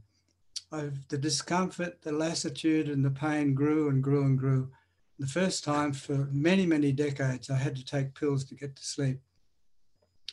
Main thing was to struggle to eat. Was very became very painful to swallow. And what I was eating was wet cardboard. That's what it tasted and felt like. My darling wife would cook what I could eat, and then I'd spray xylocaine and antiseptic down my my anesthetic down my throat and take about an hour to eat a meal. I managed ultimately to eat my meals through a thick straw. With the aid of dietitian and a lot of aid from my wife, I managed to maintain my health, my, my weight, uh, but I had to give up exercise and work. And I nearly tried to get it, I tried to get out of radiotherapy. Uh, Gerald has mentioned 50 units over 25 sessions. I was about 48 units and it was really, really getting me down. I was having tremendous difficulty. So I said to my radiotherapist, the little extra that you're going to get from protection from this disease is going to be matched by a huge amount of disadvantage to me. The trade-off doesn't seem worth it, so I think I'll quit. However, she was able to convince me to continue uh, the course. Next slide, please.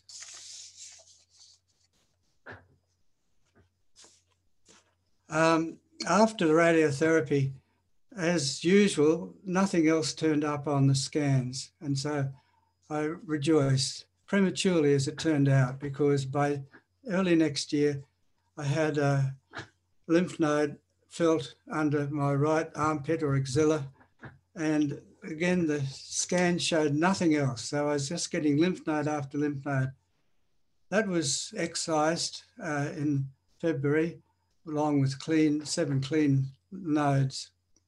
And at that point, the question is what to do. I had no observable lesions in my body anywhere. The local multidisciplinary team suggested chemotherapy and more radiotherapy. But I refused, uh, having read up a bit and talked to a bit, but also to, through the Peter Mac team said no adjuvant treatment seemed a good idea. So I took that uh, and decided I wouldn't take any treatment, but just in case, I have a friend who's a palliative care physician and started some preliminary discussions with him. Next slide, please. Now, mine was one of those things that uh, Richard has mentioned, cancer unknown primary. In April 2015, my sister pointed out a very, very, very small, less than a pin head, uh, needle head spot on my lip, my bottom lip, which wasn't getting bigger, and I didn't even notice it. And my dermatologist, who knew I had Merkel cell carcinoma, uh, diagnosed it as a BCC and cut it out, was sent off to pathology, turned out to be Merkel cell. And so she convinced me to uh, cut again to, to get cleaner margins. Again, I thought maybe that's the end. But in the middle of that year, uh, growth was found on my peritoneum. And once again, I consulted the two multidisciplinary teams the local one said, no more surgery, no more chasing rabbits down rabbit holes and start chemotherapy, which I refused. And Peter Mac, uh, after an MRI, said, let's try laparoscopic surgery, see how it goes.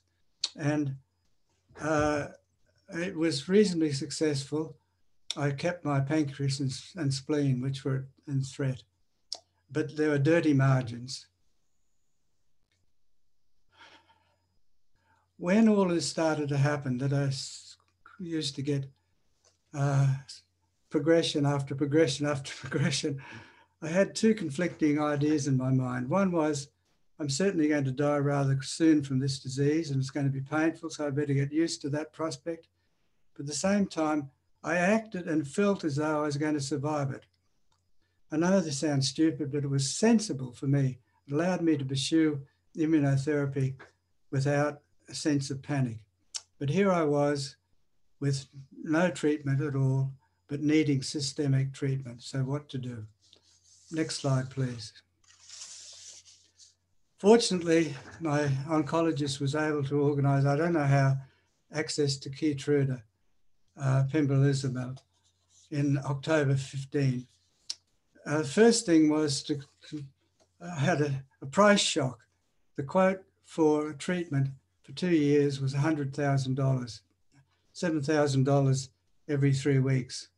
Uh, over time, the price stopped, dropped to $6,000 uh, and then uh, finally free.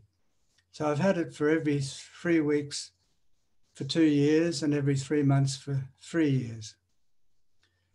I had regular scans and examinations, I had minor side effects, and some have been delayed. So far, it's cost me about $90,000, and it was a fantastic bargain for me. I'm still alive, five years without progression. However, most patients weren't in the favourable position financially that I was, so I volunteered to assist efforts to obtain a better deal for Merkel patients, which is noted bore fruit as uh, putting avelumab on the PBS. Now, for me, immunotherapy was an adjuvant treatment. I had no cancerous lesions to monitor. But the day I started immunotherapy, I pointed out to my, my oncologist that I had a new lump underneath the skin at the back of my head. Was too small to biopsy, so we're going to keep an, a, a watch on it. And I had the first infusion and went to bed. The next morning, when I woke up, without even stirring, this thought rushed into my head that lump is gone. And I felt around the back there. I just couldn't feel it. The thing that was there the day before, easily felt, felt had completely disappeared. So I thought to myself, wow, this is working. This is going to work. So I've had a tremendous beneficial outcome from immunotherapy. Uh, and uh, I'm so pleased that patients uh, are able to get access to it without going through the financial uh, necessity that I had. And that comes to my last slide, please. So if you're a patient, please join the advocacy group. Here's how you can find out how to do that. If you're not a patient, if you're a clinician or a researcher with patients, please get them to join. Two reasons. The more that the patient advocacy group can legitimately say that they're representing the interests of vast percentage of patients, the better. Secondly, it gives you access to information about trials, uh, which uh, have been very beneficial and uh, will be beneficial for the people who take part of them. That's all I have to say. Thank you very much.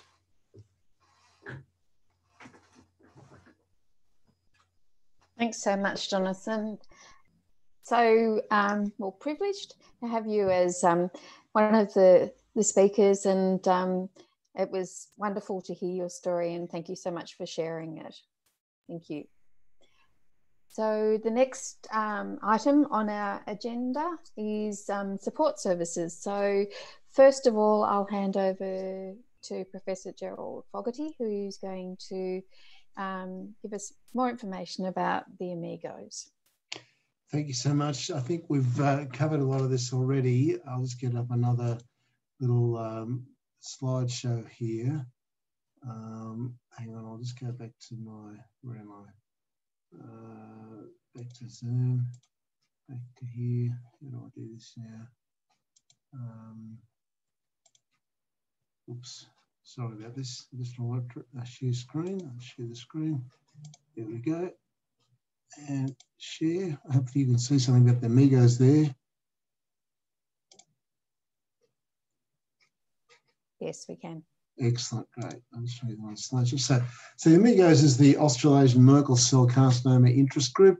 Um, so we've been going for probably five years now, um, and we're part of uh, Melanoma Skin Cancer Trials Limited. Um, this has been a great uh, combination to have a bit of a special group within the, the skin cancer trial space. And we've been very well supported by Merck as well uh, in, in, in, in, doing things.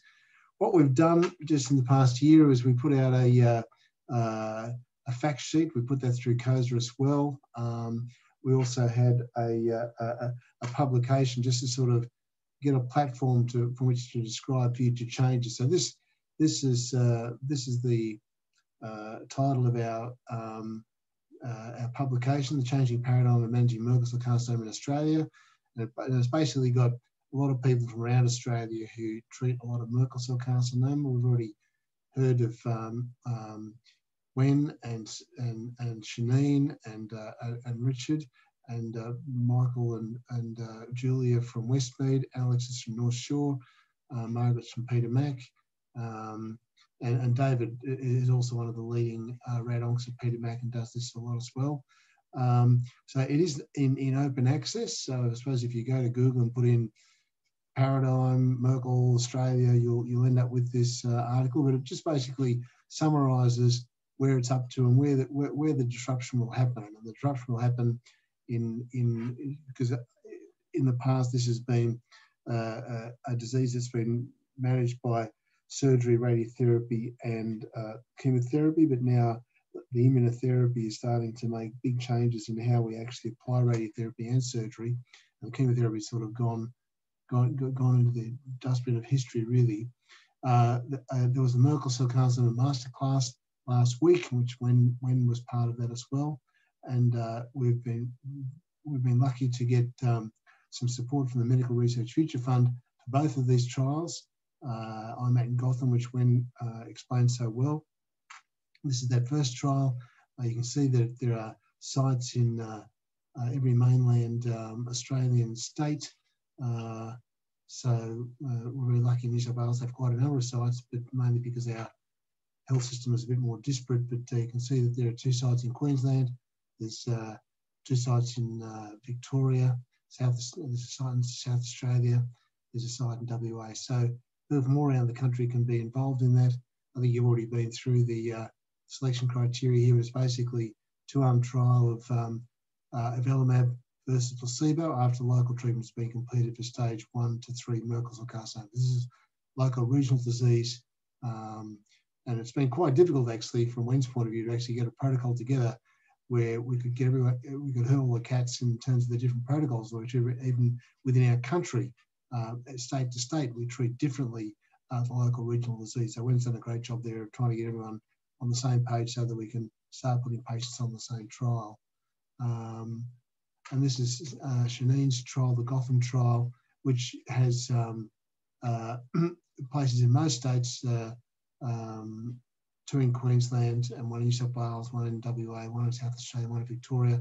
This is a more difficult trial to do because it does involve uh, a, a, couple of randomisations uh, and also um, uh, a new, the involvement of nuclear medicine as well. Uh, so you need to have quite an engaged nuclear department in your hospital in order to have that done. This is more for metastatic disease or stage four disease. So IMAT for stage one to three, but uh, but Gotham for stage four. Now I think that's about it really. Uh, um, so this is just about the amigos. Uh, we have a vision to increase high quality care. Uh, we have a we have a this is our mission statement here. All pretty straightforward. What you'd expect, and these are our values. But really is patient focused. Really trying to listen to the patient voices because if you heard from Jonathan, this is something that really does impact a patient's life. Um, and we are trying to reach from Australia to overseas, and hopefully we'll be able to get some overseas centres involved in, in these Australian trials.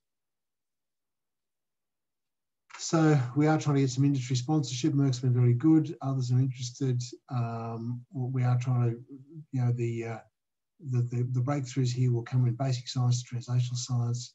Uh, we are trying to make use of um, uh, social media in order to spread the word that, that we exist. Because oftentimes when people get a, a Merkel cell carcinoma, they feel very alone.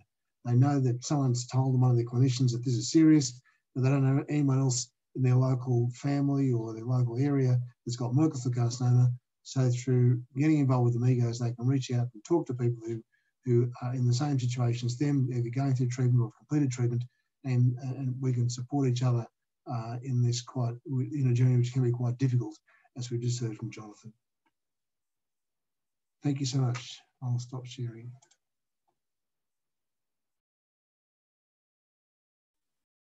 Thank you, Gerald.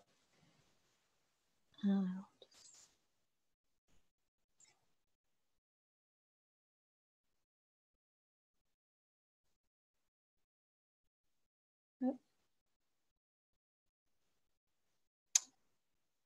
Okay, so I introduced everybody at the start. I didn't introduce myself. So I'm actually Meredith Cummins with the Neuroendocrine Cancer Australia, and I'm the project officer and also CRA.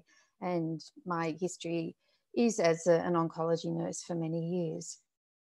So today we're going to talk about the services that um, Neuroendocrine Cancer Australia provides. Um, so this is a, a, brief overview. So we have our net nurse who is also our IT specialist, um, Kate Wakeman. She's behind the scenes.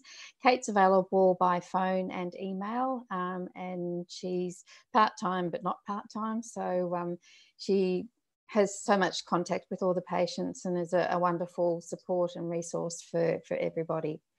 Uh, we also have support groups uh, which run around Australia, and I think there's about 80 support um, meetings that happen. They're in every state, and at the moment they're online due to COVID, uh, and they have been um, getting a lot of great attendance to that. So it's very important for many people to to have access to support groups. It's not great for everybody, but um, majority get so much out of it. And just being able to be able to speak to somebody who is in a, a similar sort of situation and um, able to just relate and um, go to an environment that's non-threatening and that they can just talk about things. Um, we also have a lot of written resources and you can go to our website to, to see that. We have patient information booklet, which most patients that we have say it's like a Bible for them, um, and they refer to them so frequently, and um, it's very useful for the carers as well. And we have a healthcare professional information booklet, which a lot of our um, patients will take along to their GPs uh, because most GPs don't really know very much about um, neurologic, um, neuroendocrine cancer. So um, it's been very beneficial, and we've had a lot of good feedback from the uh, GPs and other health professionals about the information that. We also have a nutrition booklet, uh, which talks about all the um, dietary requirements and looking for trigger foods and um, ways to sort of keep well nourished. There's wallet cards, which a lot of our patients use when they have um, carcinoid crisis or carcinoid syndrome. And there's also another card that's available um, due to the, the syndrome. They can have diarrhea quite frequently and need to use toilets. So we have a card that's actually um, a card that they can present when they're out and about so that um, they can use the toilet quickly. And a lot of the patients also have um, where's the nearest loo on their um, phone so that they can uh, find a, a toilet close by because it can be quite debilitating for them. We also have fact sheets and um, we have a multitude of fact sheets. And tonight I'm launching our Merkel cell fact sheet.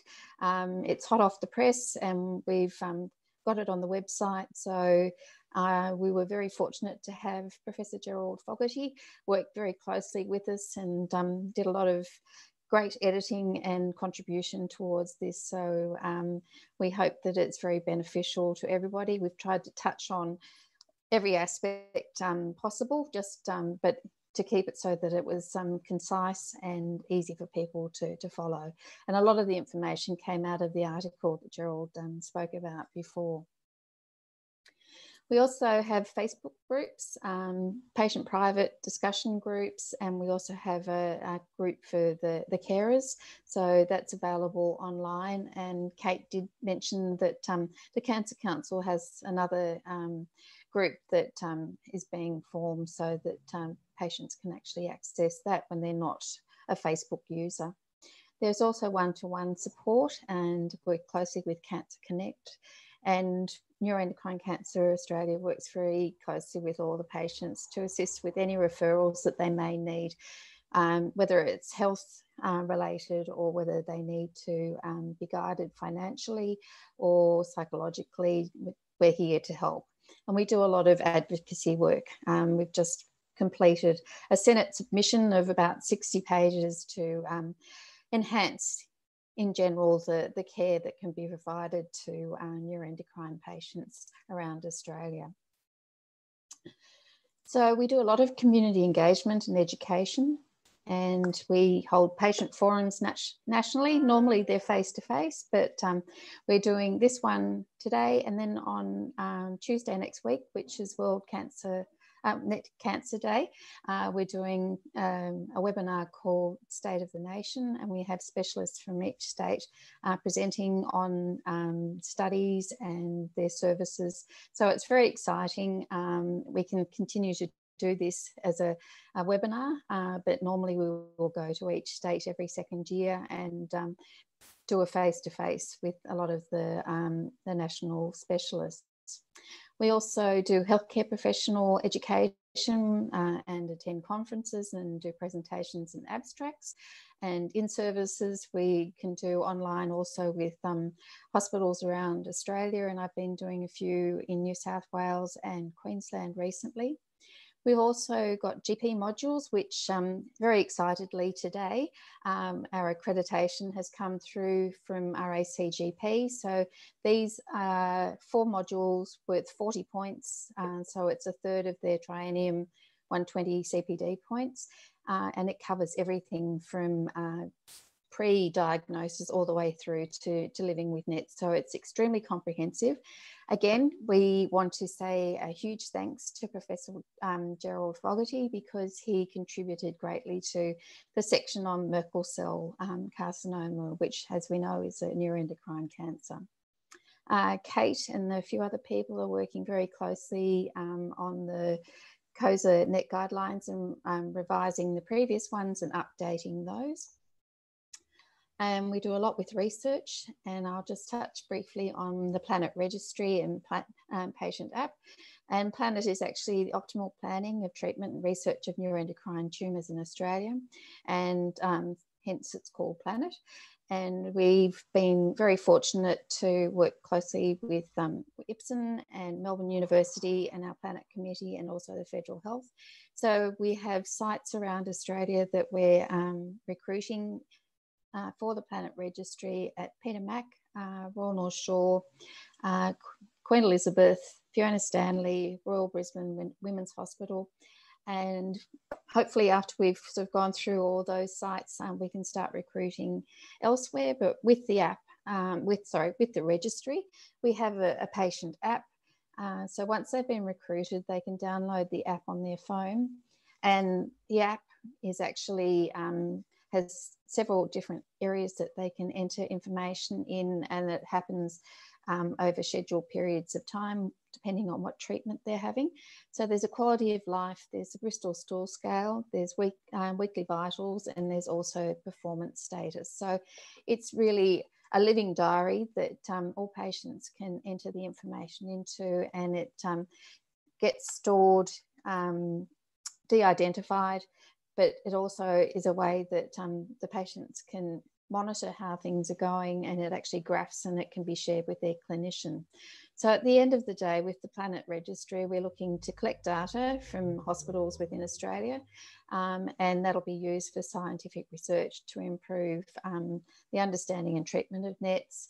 It's a great platform to be used for medical research um, through trials and studies, and with these um, the app, the clinicians can actually do push alerts for the, the patients to say that they could possibly um, be a potential recruitment for a trial. So it's a great um, medium for um, communication from the clinician to the patient, but it doesn't go backwards. So um, yeah, patients can't communicate back.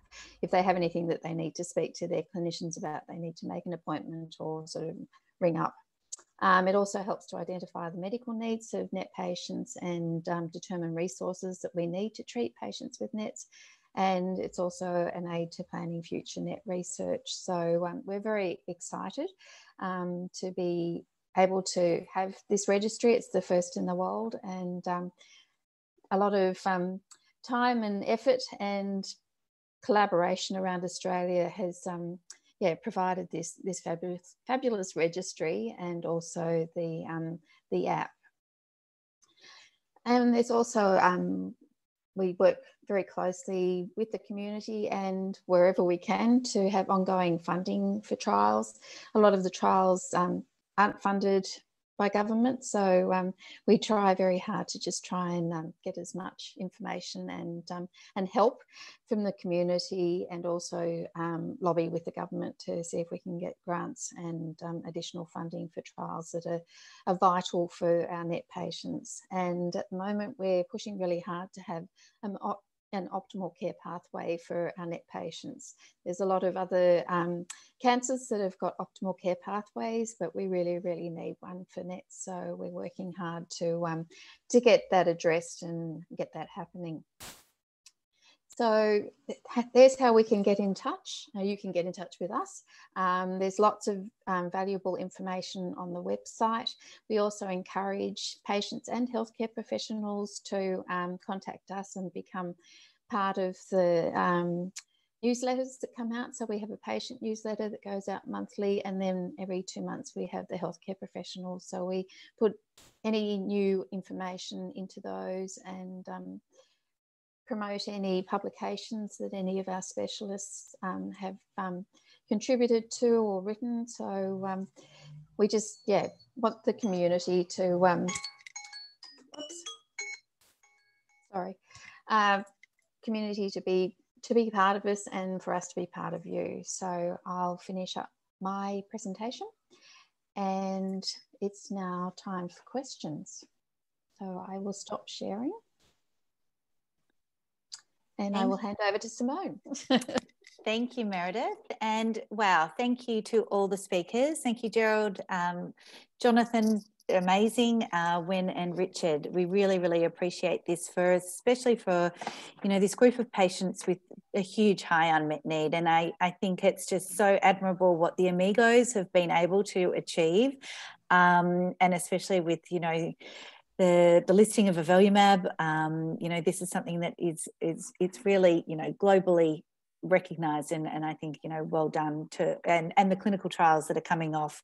Um, there was some, some chat in the Q&A, which I do believe uh, has probably been answered, but I guess it's an interesting question around reimbursement of PET um, you know, for our for our neuroendocrine tumor patients, you know, the combination of both FDG, depending on the receptors on the tumors, and also gallium 68 is is hugely important. Um, so thank you for for clarifying that but if you just wanted to talk about i mean that's something that we are really trying to push forward because we do see restrictions in reimbursement for not only diagnosis, but this is a tool that really needs to be used in ongoing management for NET patients and, and really should be used not just for the origin of where the neuroendocrine tumor is, but definitely what the receptors um, are on those tumors. So, Gerald or Wen, are you happy just to talk about, you know, uh, what you're trying to push forward for for FDG rather than that you're pushing forward for gallium 68? So, um, so Wen did you want to talk to this, or you happy for me uh, to? Yeah, sure. I, am happy to comment. So, um, so I think accurate staging is is fundamental to um, you know sort of devising the best management to a cancer, and we know that functional imaging with FDG PET is more accurate. It's more sensitive than conventional CT staging. I think. Um, so, so certainly FDG PET um, should really be a standard of care in terms of staging Merkel's. Uh, so that's not currently MBS reimbursed, and I think we should really advocate for for the government to consider reimbursing FDG PETs. In terms of dotatate PET, so, so Merkel's being a high-grade neuroendocrine cancer is almost invariably FDG avid. Dotatate, um, in terms of um, somatostatin receptor uptake, Merkel's is probably variable. At this stage, that's still experimental. Um, that is what we're trying to look at in the Gotham trial, but at this stage, um, dotatate PET, I, I wouldn't say is, is, is, a must in terms of staging, but FDG PET is something we should really push for reimbursement around Australia. I think currently, um, at the larger hospitals, it probably is done as a standard of care already, but currently the hospitals have had to absorb that cost and, and the access is not even for patients in regional areas and, and perhaps out in private. So, so I think that that's an important thing we should advocate for. Absolutely. And that's definitely, sorry, Gerald. So, so, so, so I, I just wanted to add the, the, um, uh, the use of PET also in surveillance. So we tend to use, uh, we tend to treat locally and regionally with surgery and radiotherapy and then follow patients with PET. Now that's very controversial. Uh, we tried to get some data out there ourselves just by looking at six patients where where um, PET had made a real difference, uh, early PET. Uh, and, and usually, if, if, you look at all the recurrences with PET, they usually happen in the first year. So you don't need many PETs. And so usually my practice is to do a PET every four months after people get uh, the local regional treatment done. And you can even have a, a, a PET that a, a, lesion that is only millimeters uh, in diameter, but they get distant disease. And if you can get that diagnosed early, they get on immunotherapy early when they're much fitter, uh, rather than waiting for symptoms to come from that distant disease. So, so that, that is the part of the battle, not just getting it for staging, but also getting it for continued surveillance. It shouldn't be because of the government, because Merkel cell carcinoma is not a common tumour. And uh, I think you only need to do it uh, for probably two years max. And people who get out to two years probably don't need a PET after that. Uh, there could also be space in this area for blood tests as well. We don't have that, that, that at the moment in Australia, but that may also be able to determine when you do uh, uh, a PET scan, if we can find a blood marker that is, that is uh, reliable in Merkel. Absolutely. And look, I think it's an ongoing discussion, and it was probably the, the focus, as, as I mentioned, of our um, submission to the House of the House of Reps inquiry recently. And as Jonathan mentioned, the high costs are debilitating, obviously, with the treatment that Jonathan had to do. And Jonathan's so grateful to you, or the advocating that you did to then get um, mm uh, you know on the pbs it's not it's not easy and we we know all so well but you know we also we see those discrepancies even within our patient group about private and public as you mentioned Wen you know yeah. the public hospitals generally absorb these costs and know how important these uh, tests are for staging as well as diagnosis and, and ongoing management it's actually stops potential um, uh, interventions that won't work and and, yeah. and it can actually show the ones that can work. So we are absolutely uh, on to trying to get greater access especially because it is really it's it's it's a vital part of treatment as well as as diagnosis. Um, i just had a question and i'm sorry i'm going to check the uh, chat box as well. I um, had a question with regards to the imat trial uh, which is really uh, both the IMAT trial and the Gotham trial, which is really exciting. And I'm just so pleased to see MRFF getting behind uh, what, what they were talking about with access to rare cancer trials. Um, with the the avelumab and PRRT, I guess that would be an exciting thing to see what other nets that might actually be able any evidence there for other nets not just um, merkel cell because the the combination therapy of of um, um, uh, sorry of immunotherapy and PRRT hasn't really been explored much in any other other neuroendocrine tumors so that's exciting. And i guess the other uh, the question is that's a statement the question is around recruitment. You know this is a really hard group of patients to get to. Um, with regards to age and and um, and also the the disease and and how much it progresses and I and I hope that the GP modules will help with trying to educate primary healthcare um, more so on this. But what are you sort of trying to? How are you going to try and get to these patients to get them onto these trials? So one thing we've done is we've we've uh, looked at the putting that little uh, banner onto the histopathology forms. So we're trying to work through now with the yeah. uh, College of uh, Pathologists in order to get in order to get them in to uh, endorse that. Richard Scolyer is doing that for us. Um, uh, the other thing is just try, is just trying to educate primary care. Most skin in Australia is looked after by primary care, which they do a good job. But um, but in this situation where where let's face it, some people in primary care might not have even been exposed to Merkel in their in their undergraduate years. So, so this is a, a postgraduate uh, uh, play. Uh, we have tried to do. We, we are working very closely with the skin cancer GPs uh, college, also with the dermatology college as well. Uh, it's funny though that, that, that the pathways of, of how people go here. I, am pretty lucky. I've got a name for treating Merkel cell carcinoma. Uh, usually I've got at least one Merkel cell carcinoma on radiotherapy treatment at any one time. They, are going through five weeks of treatment. There's some dermatologists that refer cases to me for other things, that have never seen a Merkel in their whole professional life. So these guys have been out there for 10, 15 years and never had a Merkel. Now, sometimes I wonder, these are very good dermatologists, sometimes I wonder, well, have they, you know, have, you know, because it is very tempting sometimes when someone's got, got 10 lesions to actually uh, freeze them rather than cut them. So I hope the, the, the, the Merkel was actually cut, and not frozen, and sent for histopathology. Um, but you know, we're just trying to raise the raise the awareness that uh, that you know if you get a sudden onset of a of a, of a purple lump more under the skin than in the skin, you need to, we need to think laterally to think, well, this could be Merkel cell carcinoma. Absolutely, awareness is key. And Wen did you say want to say something about that? Uh, yeah, sure. I, I, I agree with uh, with Gerald. I, I think um, I think one one key thing to mention is that um, you know when a Merkel cell is diagnosed, um, I really encourage um, all primary carers to refer them to to the bigger hospitals that have MDTs and and um, so I mean there'll be a, a small proportion of um, so clinicians that that you know might be quite familiar and, and, and perhaps have a um, can specialize in Merkel's, but but most of these cases, you know, are probably going to be diagnosed in primary care where you might see one every every few years, and you you may see you know one or two in a lifetime. And I think um, one of the areas we are trying to focus is to get um, some sort of um, widespread pathology flagging of these cancers to say a, that they should be referred to, to high volume centres and B, to, to maybe list a link for, for possible open clinical trials. I think that, you know, if that was an automated um, process in the larger pathology providers, I think that that's one good way of, of picking these patients up. Thanks. Absolutely. I think, Richard, maybe this might be a question for you. We have a, a, patient who's asked a question that says In the space of two years, she's been diagnosed with a parathyroid adenoma, a carcinoid net tumour in the lung, and most recently, a MCC.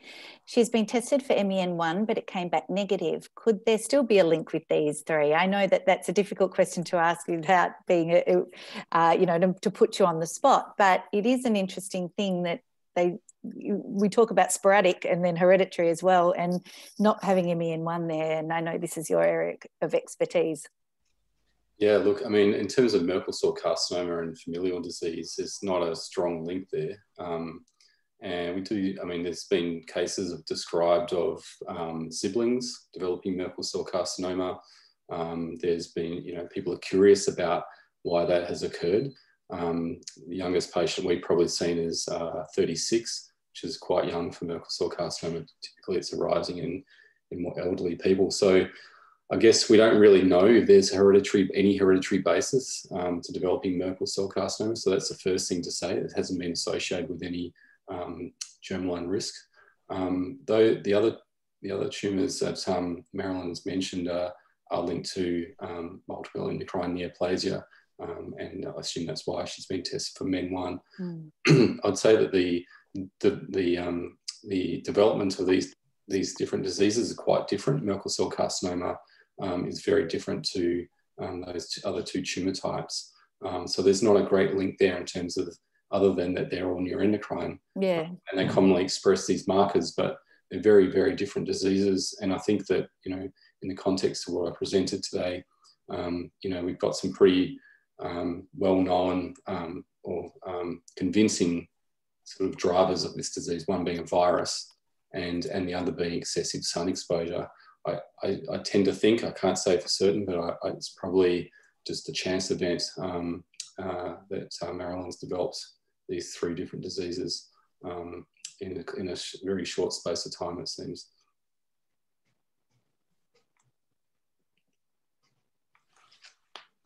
Marilyn, I hope. Um, uh, sorry, you know, I know that that hasn't probably really answered any questions, and I think you're probably left with more more questions. But you know, it is a, it's really really difficult when we try and uh, connect these, and neuroendocrine tumors, I think, create even a more difficult uh, space in that they can be so um, so variable. Um, I think I've got another question here. I'm not sure if it's a question, but um, my M, my Merkel cell carcinoma has resurfaced four times at about nine month intervals. I'm waiting for my radiotherapy schedule, which is to be followed by immunotherapy. Therapy. This is my first time using immunotherapy as a treatment. What is the recommended time to start um, after radiotherapy, and what is the normal treatment time? That's from Tim. I think Gerald, is that something that you'd be able to? Well, we would normally give uh, radiotherapy fairly quickly following any surgery or any local um, local uh, uh, exacerbation. Um, normally, the time the, the, immunotherapy, there's a couple of logistic things here, but we certainly don't want to uh, cause any double up in toxicity. Someone's radiotherapy can cause a bit of toxicity, as we heard from Jonathan. Uh, so normally the logistics in hospital would be to start immunotherapy probably three to four weeks following the radiotherapy. That would be the normal thing in in in, in my in, in the medical oncologist that I refer to. I don't know what when Wen has any uh, any light on that at all. Yeah, thanks, Gerald. Um, I think I mean the IMAT trial we're actually looking at concurrent um, immunotherapy with radiotherapy. Um, I mean, there are some other diseases where this has been looked at and, and the safety data is reasonable, but I think it really depends on the field of the radiotherapy. So I think I'd, I'd be concerned, for example, if, you know, a large lung was irradiated, you know, there may be a higher risk there, but I think if it's, um, um, if it's, you know, more peripheral nodal, I, I probably would be comfortable um, to give it concurrently. But, but look, undoubtedly there could be an increased um, risk of toxicity slightly, um, but I don't think it's as as great as giving chemotherapy and radiotherapy together. And I think the timing of when I would give a radio immunotherapy would depend on sort of the clinical scenario. For someone that's got a lot of other burden of visceral disease outside the radiation field that needs a response systemically quickly, you know, I, I wouldn't want to waste time and I, I, probably wouldn't wait for three or four weeks to start the immunotherapy. But but if it's just adjuvant radiotherapy, there's otherwise NED or small volume disease, I, I don't think there's any rush to give the immunotherapy. And I think I'd I'd be cautious and, and, and agree with Gerald and just wait for a few weeks for the radiation toxicity to settle down. Can I just say something here, Simone? Uh, this is I'm just sort of waving the radiotherapy flag here. Um, systemic therapies have progressed enormously, and we're very grateful to the scientists for doing that, to progressing from chemotherapy to immunotherapy. But there has been advances in, in radiotherapy as well. And so now we use a lot more targeted radiotherapy. Uh, there's a lot, there's, uh, we can use, and this is where PET scanning actually helps us a lot because PET, uh, the PET platform actually talks to our radiation planning facilities. So getting PETs actually helps us to aim the radiotherapy much more efficiently, giving more dose to tumour, less dose to normal structures. So getting more survival, more tumour cure for less side effects. So even the radiotherapy that Jonathan had five, you know, six years ago would be given very differently today. Uh, radiotherapy back in the day, even those, even, even six years ago, used to be called 3D conformal radiotherapy. That came in boxes and cubes and, and blocks. Whereas really now what we, we have a new way of giving radiotherapy called got a long name. It's called volumetric modulated arc therapy. That's why we call it VMAT because it is such a long name. But um, this is basically where the radiotherapy is a lot more conformal. So rather than having rather than having a lot of uh, uh, normal tissue bystanding, you know, getting hit by radiotherapy in the entrance or exit beam through, through a bystander effect and having side effects, we can actually be a lot more conformal to aiming the radiotherapy just to where the cancer is. So I think that that you know the the, the chance of having um, added, additive uh, toxicities from both systemic therapy and radiotherapy are much less now in this current day than they were back in back even six years ago uh, if people use modern radiotherapy techniques it's, it's amazing how much everything has become just so much more targeted and, and the hope that it does um, provide you know uh, less toxicity for the patients. And um, you know jonathan even with, sharing your story you, you, went through so much. And i think um, you know it's a credit to you for, for staying positive and, and and knowing that that's all um, you know what you've gone through. And i'm sure you've got words of advice for tim um, and I hope that Tim has obviously seen that there, there's some positivity as well. Yeah, thank you. Uh, I, I, was just fantastically lucky. I think that was all. I didn't do anything. It happened to me. But uh, but as Gerald points out, things have moved tremendously in such a short time that the situation I would be in if I had the first diagnosis now instead of 2014 be phenomenally much better. Yeah. It is. It's incredible. And again, credit to Amigos and, and to, to Merck that, you know, you're pushing forward with this. Sometimes, you know, a forgotten patient set that, you know, we, we feel our nets are sometimes a little bit in the heart too hard basket. So it's a real credit to you all for, for driving all of this so um, you know really forward and and um, and we really thank you for that I don't think we have any more questions, but if we do get any more, we will absolutely um, forward them on. And in the, in the interest of time, we know that it's uh, uh, nearly dinner time. And uh, for those in Melbourne who still are working from home, I can hear them smashing around in the kitchen, which is always um, a little treat for me to go out to. But um, I really, I'll, I'll, hand over to Meredith, but thank you um, to all of you for giving up your time to this really important uh, webinar and thank you to Merck for sponsoring it.